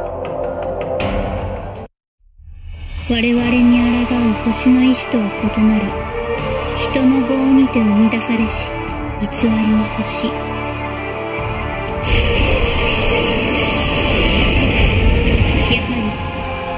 的生命体は、この宇宙に争いの火種を生み出す、忌むべき邪悪。よもや、リレイヤーがあのような戦略兵器を持っているとは。いや、あまたの銀河を消滅してきた以上、戦略兵器を持っているのは当然か。召喚殿これ以上は無理です撤退しますオリジナルワンを手に入れても、我々が落とされれば元も子もない。では撤退を許可する安全な中域で特務たちを待つとしよう。全艦に告げる急ぎ中域を離脱せよいいかサテライトの回収は忘れるな逃がさない。偽りの星はすべて暗い私という器が満たされなくても、使命と名約によって、私はあれを、全てを、食らい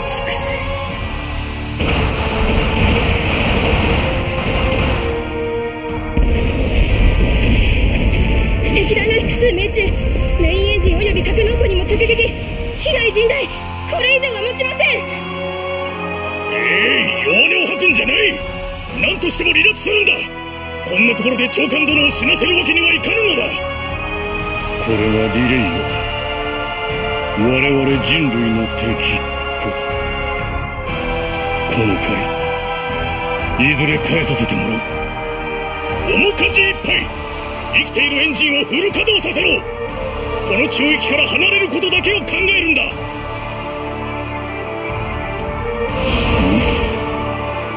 あれ IT ラボの舞台のようですね。ちょうどいい。このデカブツを連中に押し付けるなるほど。この化け物を GT ラボの連中にぶつけるんですね。了解しました。そうだ。化け物には化け物をぶつける。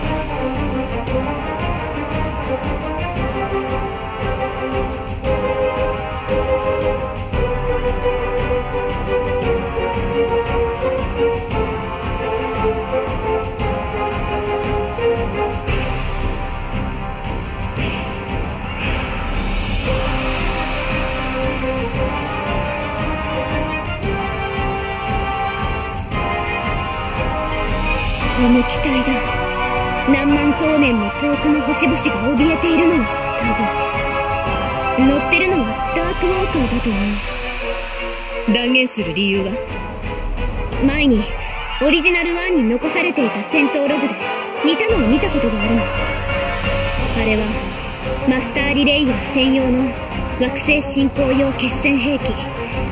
使用は見ての通り短期での進行殲滅が目的のとんでも兵器。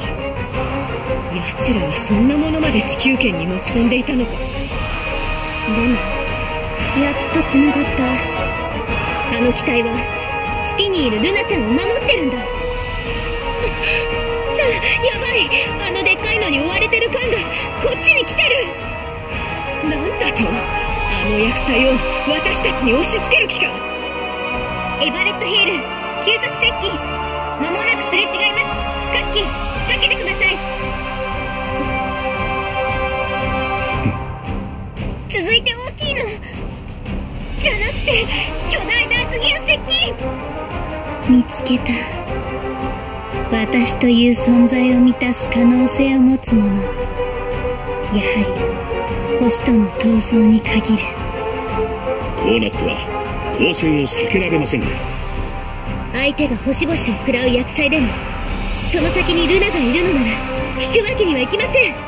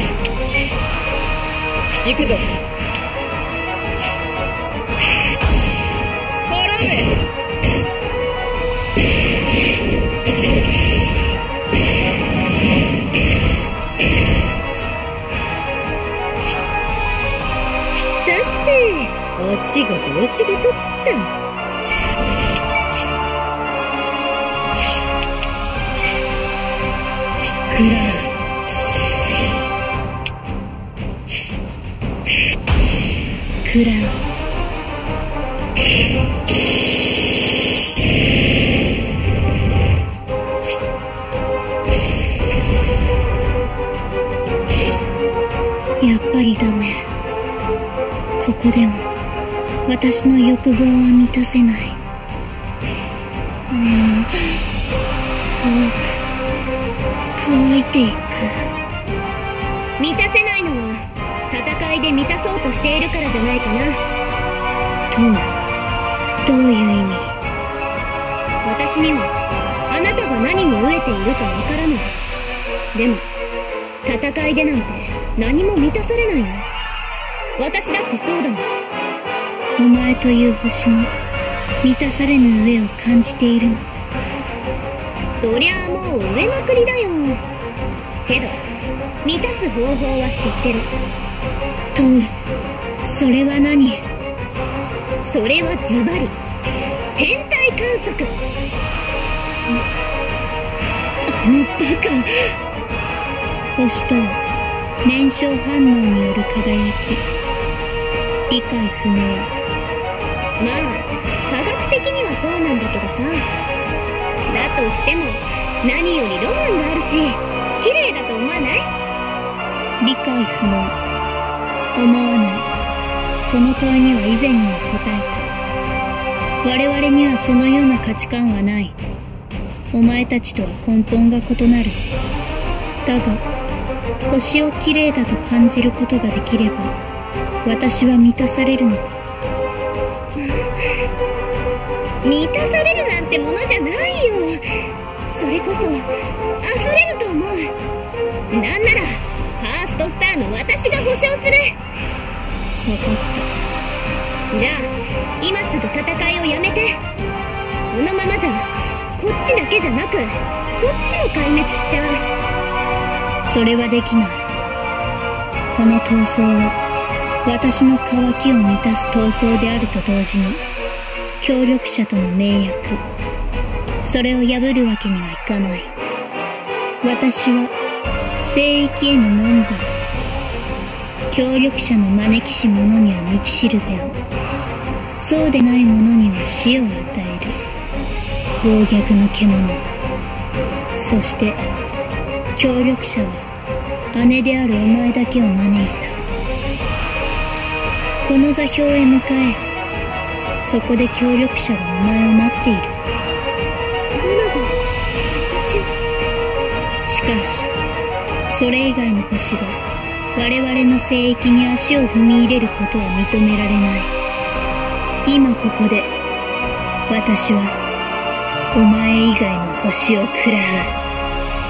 いかがなさいますかマスター座標を入手できた以上陶器たちは次のポイントへ移動可能ですいいえ。ルナの元に行くときはみんなと一緒です。一刻も早くルナの元にたどり着きたい。ですが、この中域に死をもたらすこの薬剤を前に、一人だけ逃げ出すわけにはいきません。邪推なことを申し上げますが最近のマスターは人の死に少々いえ過度に敏感になりすぎではありませんかだとしても、それが私ですから。楽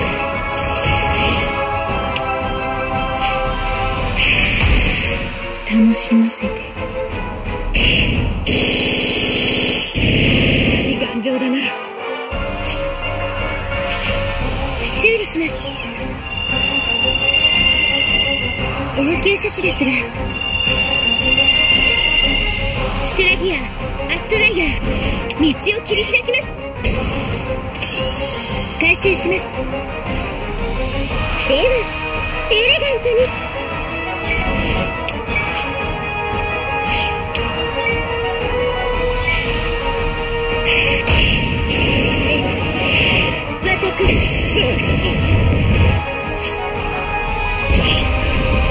ありえんこの宇宙は私が守るんだから。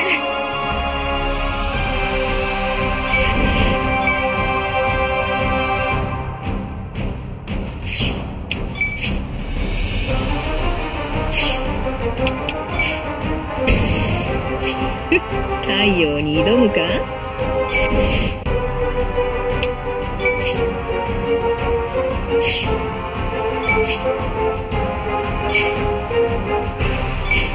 任せてくれ。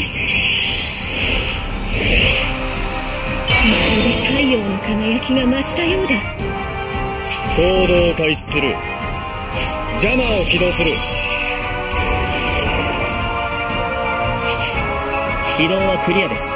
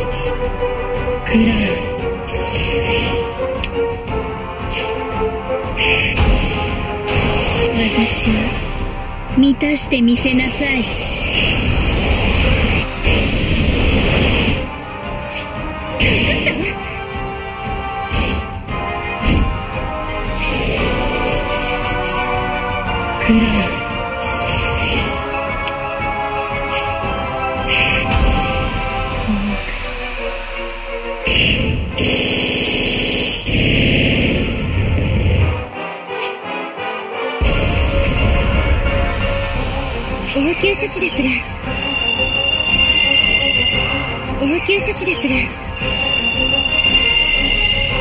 スクラギアアストライヤ道を切り開きます。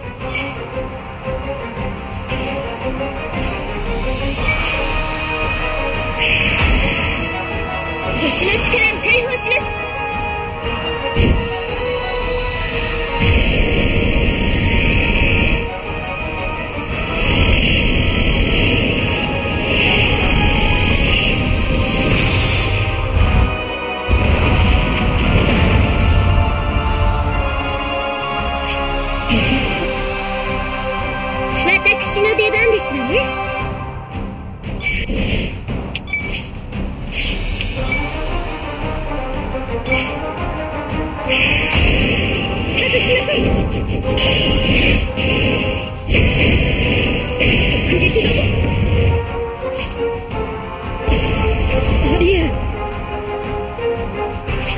进了。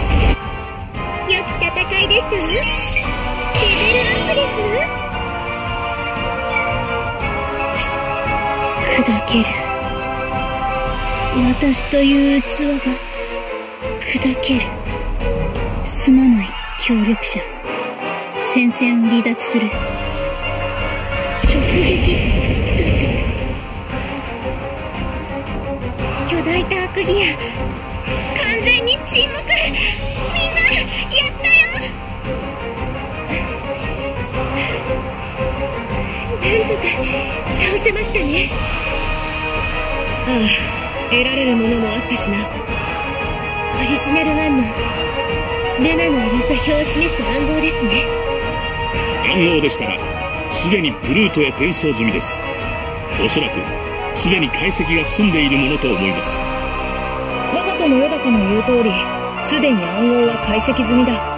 今全員に共有する。この座標って？おそらくこの座標は通過ポイントではなく僕たちの目的地を示す座標だ。ここにルナすでに気づいている者もいると思うが僕はあえて言葉にしよう。座標が示す場所。それは月の内側さ。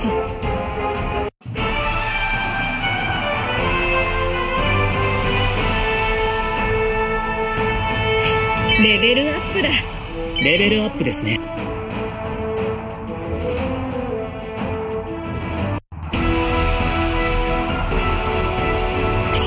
遅かったわね。随分と待たせてくれるじゃないこんな場所に俺たちを招くとは随分余裕だな。月のスターチャイルド。今度こそお前を倒し、オリジナルワンを取り戻してみせる前期に通達速やかに無力化に当たれただし、オリジナルワンは破壊するな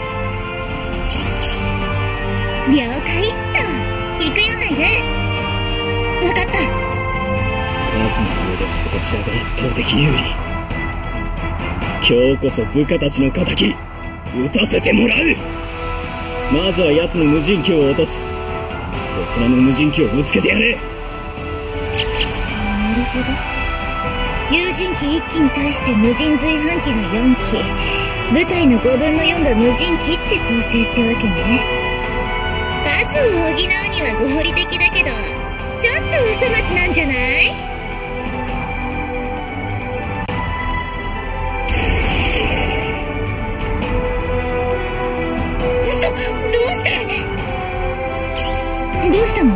のエイト炊飯器が動かない。アクセスが拒否されてる。なんだと。まさか、お前何をした？残念でした。あんたたちの可愛いお人形は私の制御下に置かせてもらったわ。まさか、こちらの無人機をハッキングしたというのか。うちの電子防御って地球最高峰じゃなかったっけ？それだけオリジナル1ってヤバい機体なわけ？いや、オリジナル1にそんな機能があるとは聞いていない。ウイルス。ウイルス？この間の戦闘この子を落とせるはずの私たちを見逃してくれた。多分その時に仕込まれたんだと思う。正解。でももう遅いわちのサーバーや無人機は長い時間をかけて私の可愛い可愛いいウイルスちゃんが汚染済み追い詰められたのはあんたたちの方だったのよ。指揮官こんな状況では作戦は無理です。ここは撤退するべきです。それはできない。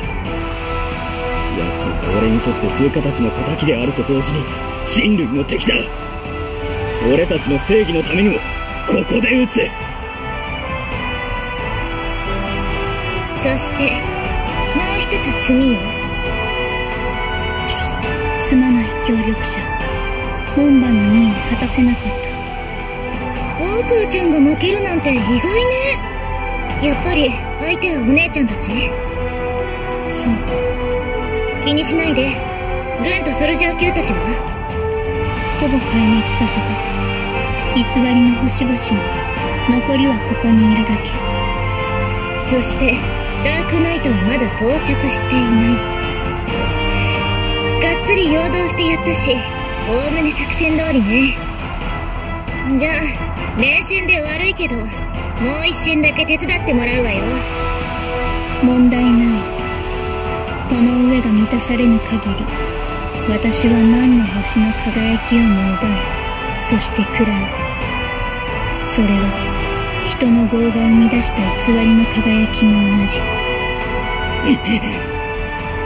舞台は整ったわ。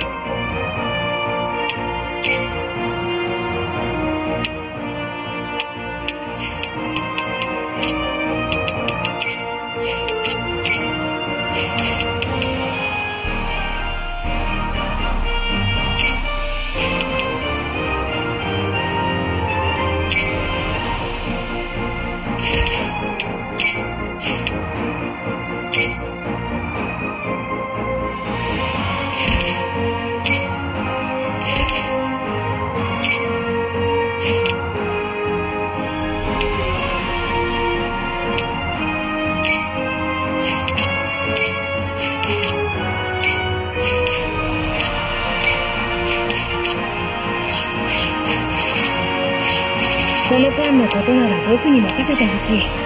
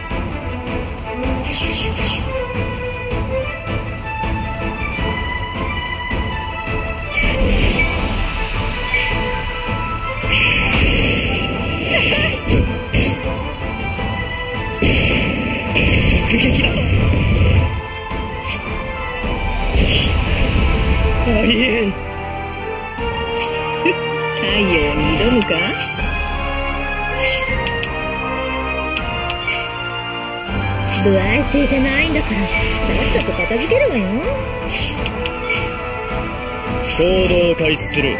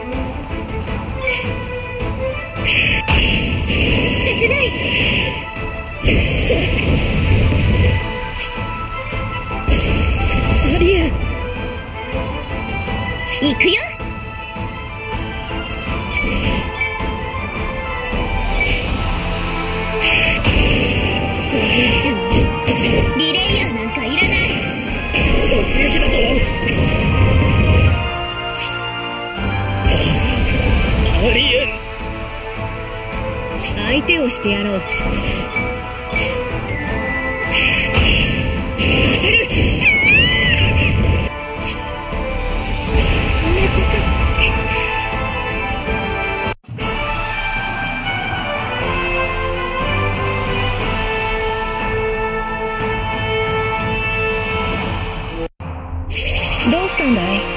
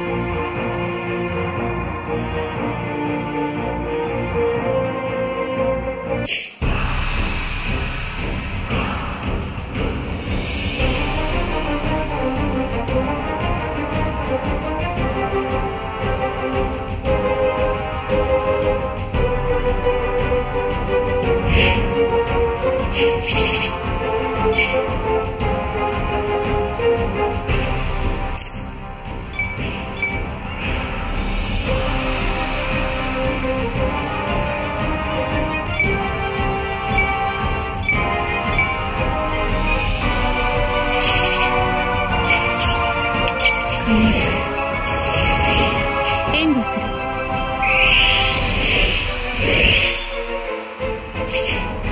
修理します応急処置ですがステラギアアストライダー道を切り開きます。私の出番ですわね。行くよ。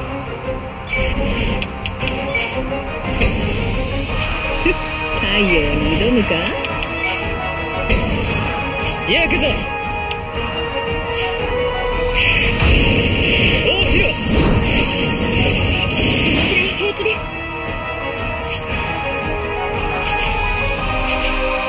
行きます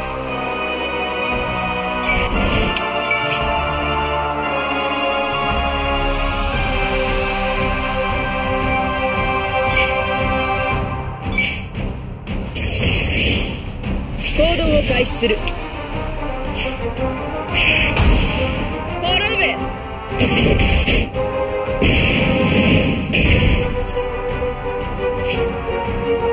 回復するわ。作戦行動に入るわ。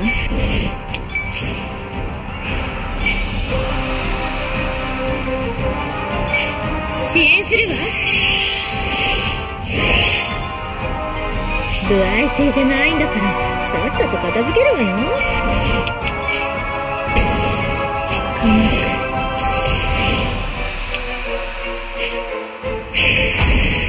楽しませて。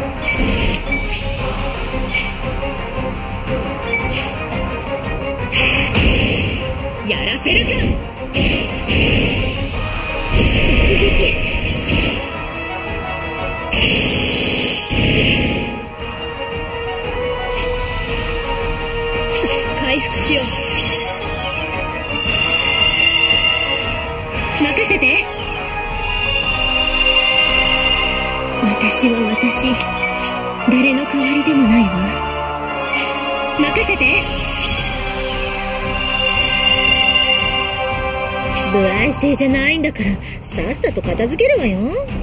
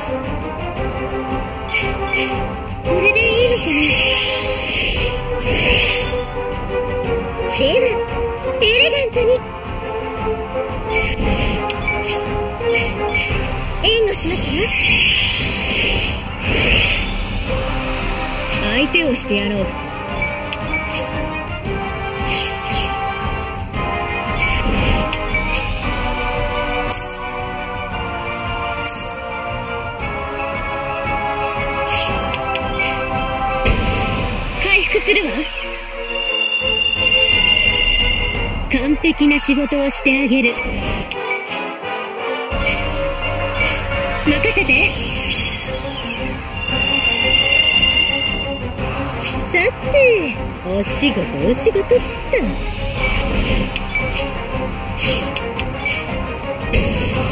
獲物はどこだ。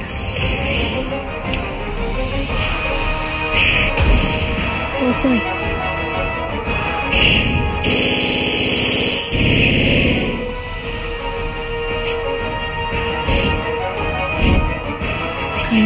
せてもらう。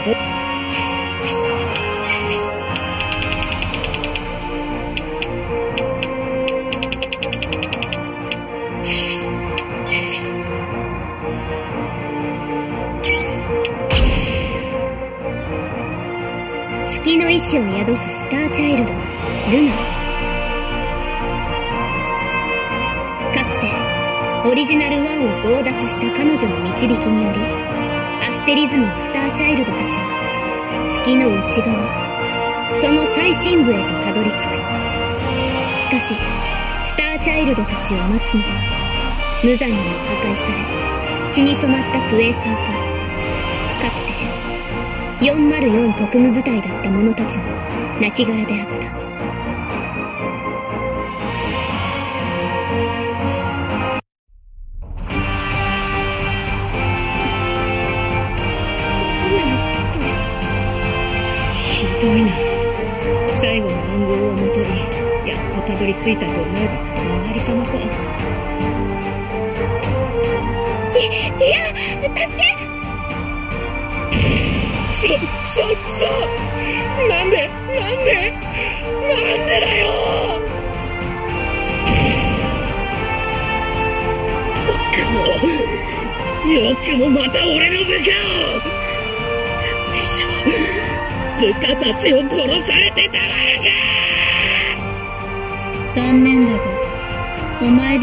私を満たすことはできない。不要だ。ダメ。星野くんはこんなところで死んじゃ。う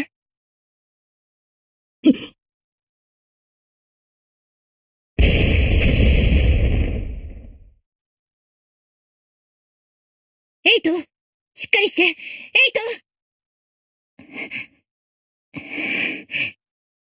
トよかった。息はある。何が起こったのかわからなかった。こっちは3個正体はいたはず。なのに。弱。これがスターチャイルド。本物の強さ。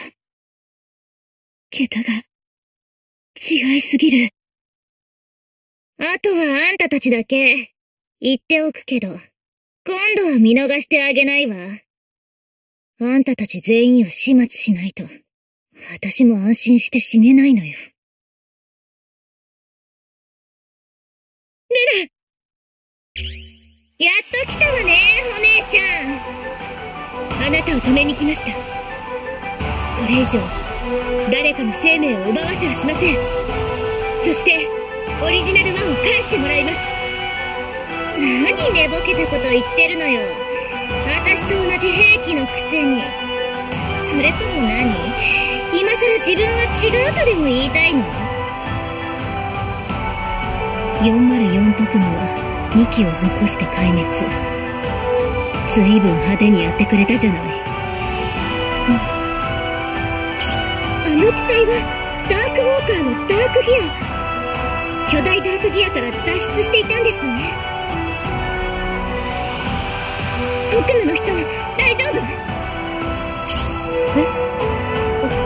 その声、卑弥呼嘘。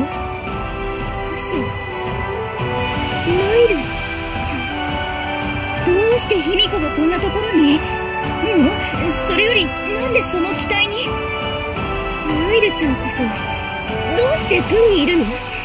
大学に進学したんじゃ。卑弥呼こそ、研究所にいるって。はい、ストップ！おしゃべりはそこまでよ、二人とも。積もる話があるのは分かったけど、今はそれどころじゃないわ。無事か、エイト。先輩もしかして、私を助けに来てくれたんですか？結果的にはそうなるな。安心しろ。二度もお前を死なせたりはしない。エイト、私たちが来るまでに何があった？なぜ軍の随伴機がお前たちを攻撃している？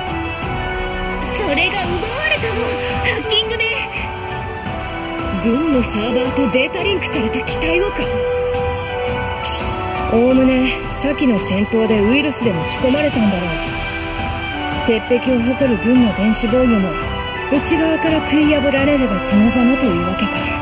なら随伴機を奪われたこの惨状も納得がいくならまずは邪魔な無人機を片付ける。お前たち二人は下がっていろ。いやここまでされて黙って見てられない。ナイルちゃんそんな期待じゃ無理だよ。大丈夫。これでも一応は部隊のエースだから。卑弥呼に助けられるわけにはいかない。卑弥呼を守るために軍のスカウトを受けたんだから。ナイルと言ったか？お前の意思は理解した。だがお前たちも戦うというのならこちらの指揮下に入ってもらう。分かった。エイトお前はどうする？ナイルが戦うなら私も戦うに決まってるじゃん。そうか。なら特務で鍛えたお前の腕頼りにさせてもらう。任せてくださいよ先輩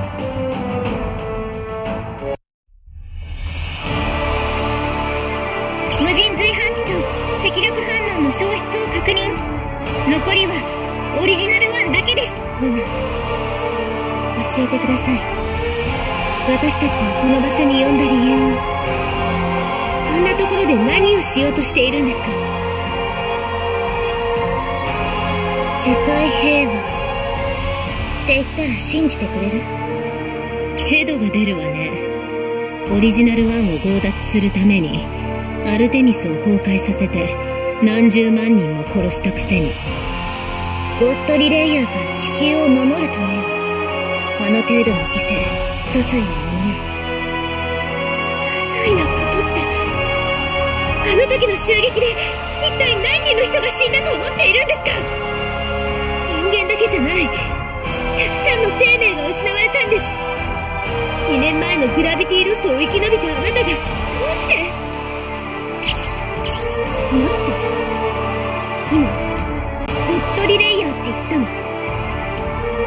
言ったわゴッドリレイヤーアフロディーテ。が復活する前に私はあいつを殺さなきゃいけないアフロディーテうーん。どういうこと？何を知っているの？そういえばあんたたちは知らないのよね。いいわ。ここまでたどり着いたご褒美に教えてあげる。この場所はいわば封印の遺跡。1億年前、古代銀河人によって封印されたゴッドリレイヤー、アフロディーテのね。ゴッドリレイヤーが、ここに。ファーストスターのくせにそんなことも知らなかったの？まあ、天体バカの無能なファーストスターじゃ知らなくて当然か。いくつか不可解な点はあるが、お前の目的は理解できた。ゴッドリレイヤーを持つのためにオリジナル1を強奪し、私たちを招き入れた。そう。でも、呼んだのはお姉ちゃんだけで、あんたたちは呼んでないんだけどね。しかしなぜだ？ゴッドリレイヤーの存在を知ってなお自身で撃とうとする。なぜ私たちを GT ラボを頼ろうとしない？これは、星の家で犠牲になったみんなのために、私が成し遂げなきゃいけないの。じゃなきゃ、みんなの死が無駄になるのだ。星の家、犠牲、またです。私の記憶と、ルナの言葉がまた噛み合わない。あなたがどのようにその事実を知り、リレイヤーに取り入ったかは気になるところですが、それよりも問いたいことがあります。封印とは、何らかの事情により、打ち倒すことが不可能な場合の問題を先送りするためのいわば緊急処置。地球の文明よりも、はるかに高度な文明の人々ですら、倒せなかったゴッドリレイヤーを、あなたはどのように倒すつもりなのですか？そして、そのゴッドリレイヤーは、この遺跡のどこに、どのように封じられているのでしょうか？なかなか賢いじゃない。いいわ、教えてあげる。アフロディーテを封じてるのは、あれよ。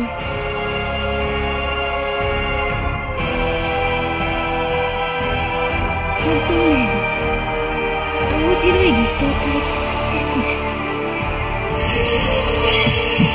なんだあの箱が放つこの重力反応は。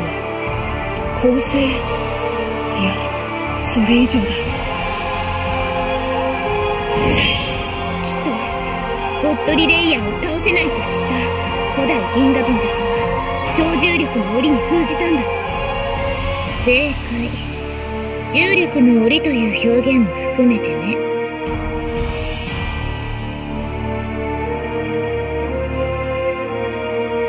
あの小さな箱の中にアフロディーテは囚われている超重力に潰されることなく、今もその中で彼女は生きている。だからリレイヤーは欲しているのよ。この箱を開けるための鍵をね。それが、オリジナル1。オリジナル1が古代銀河人の遺産なら、箱も同じ。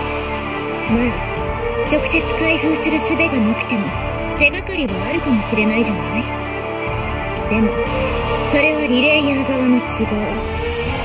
私の目的は、初めからアフロディーテをぶっ殺すこと。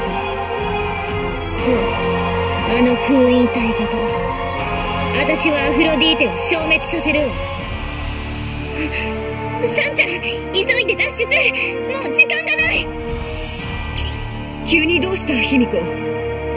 ルナちゃんが、ゴッドリレイヤーを倒す方法が分かったのルナちゃんの目的は、封印を解くことじゃなくて、ゴッドリレイヤーを倒すこと。ける必要がないの。そして、あの箱がこの宇宙のものである限り、消滅させる方法が一つだけ存在する。なんですね、それは。ブラックホール。ブラックホールなら、押しつぶしてくれるかもしれないし、それが無理でも、リレイヤーの手の届かない場所に葬れる。正解よ、ファーストスター。ま、これだけヒントをあげていれば、いい加減気づくわよね。確かに、それなら可能だけど、ブラックホールなんてどうやって？可能よ。オリジナル1と、軍の超重力推進装置、この二つがあるこの状況ならね。ブラックホールは超密度の重力場。確かに理論上、超重力推進装置搭載の機体なら、ブラックホールを生み出すことは可能ね。でも、あくまで理論上の話に過ぎないわ。オリジナル1の進化は、高度の G 粒子制御能力と言っても過言じゃないわ。問題は、構成以上の重力場を生み出すパワー。もちろん、オリジナル1のステラドライブだけじゃ出力不足。でも、軍のおかげで補うことができたわ。だから、わざと特務の人たちを招き入れたんですね。出力で劣るレプリカとはいえ、数だけは持ってるのよ。有効活用しない手はないわ。おまけに、クソジジイの生み出したイミゴも処分できて一石二鳥ってね。そして、オリジナル1と特務の機体に搭載された超重力推進装置によって生み出されたマイクロブラックホールを月ごと飲み込む。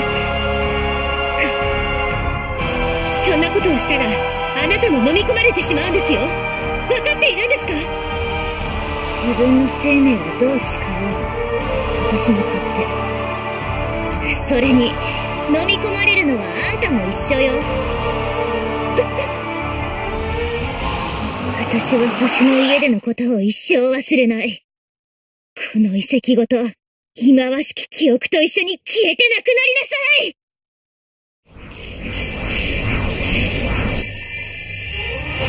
危険です。オリジナル1のステラドライブは、間もなく臨界点に到達します。それだけではない。特務の機体に搭載された超重力推進装置もフル稼働を始めた。オリジナル1を中心に G 粒子が集まっていく。それってこの後どうなるんですの？128回の演算と256回のシミュレーションではオリジナル1によって構成級の超重力場が形成される。やがてそれはマイクロブラックホールとなり月そのものを飲み込むだろう。前期撤退だ。奴の無理心中に付き合う必要はない急いで脱出するんだ。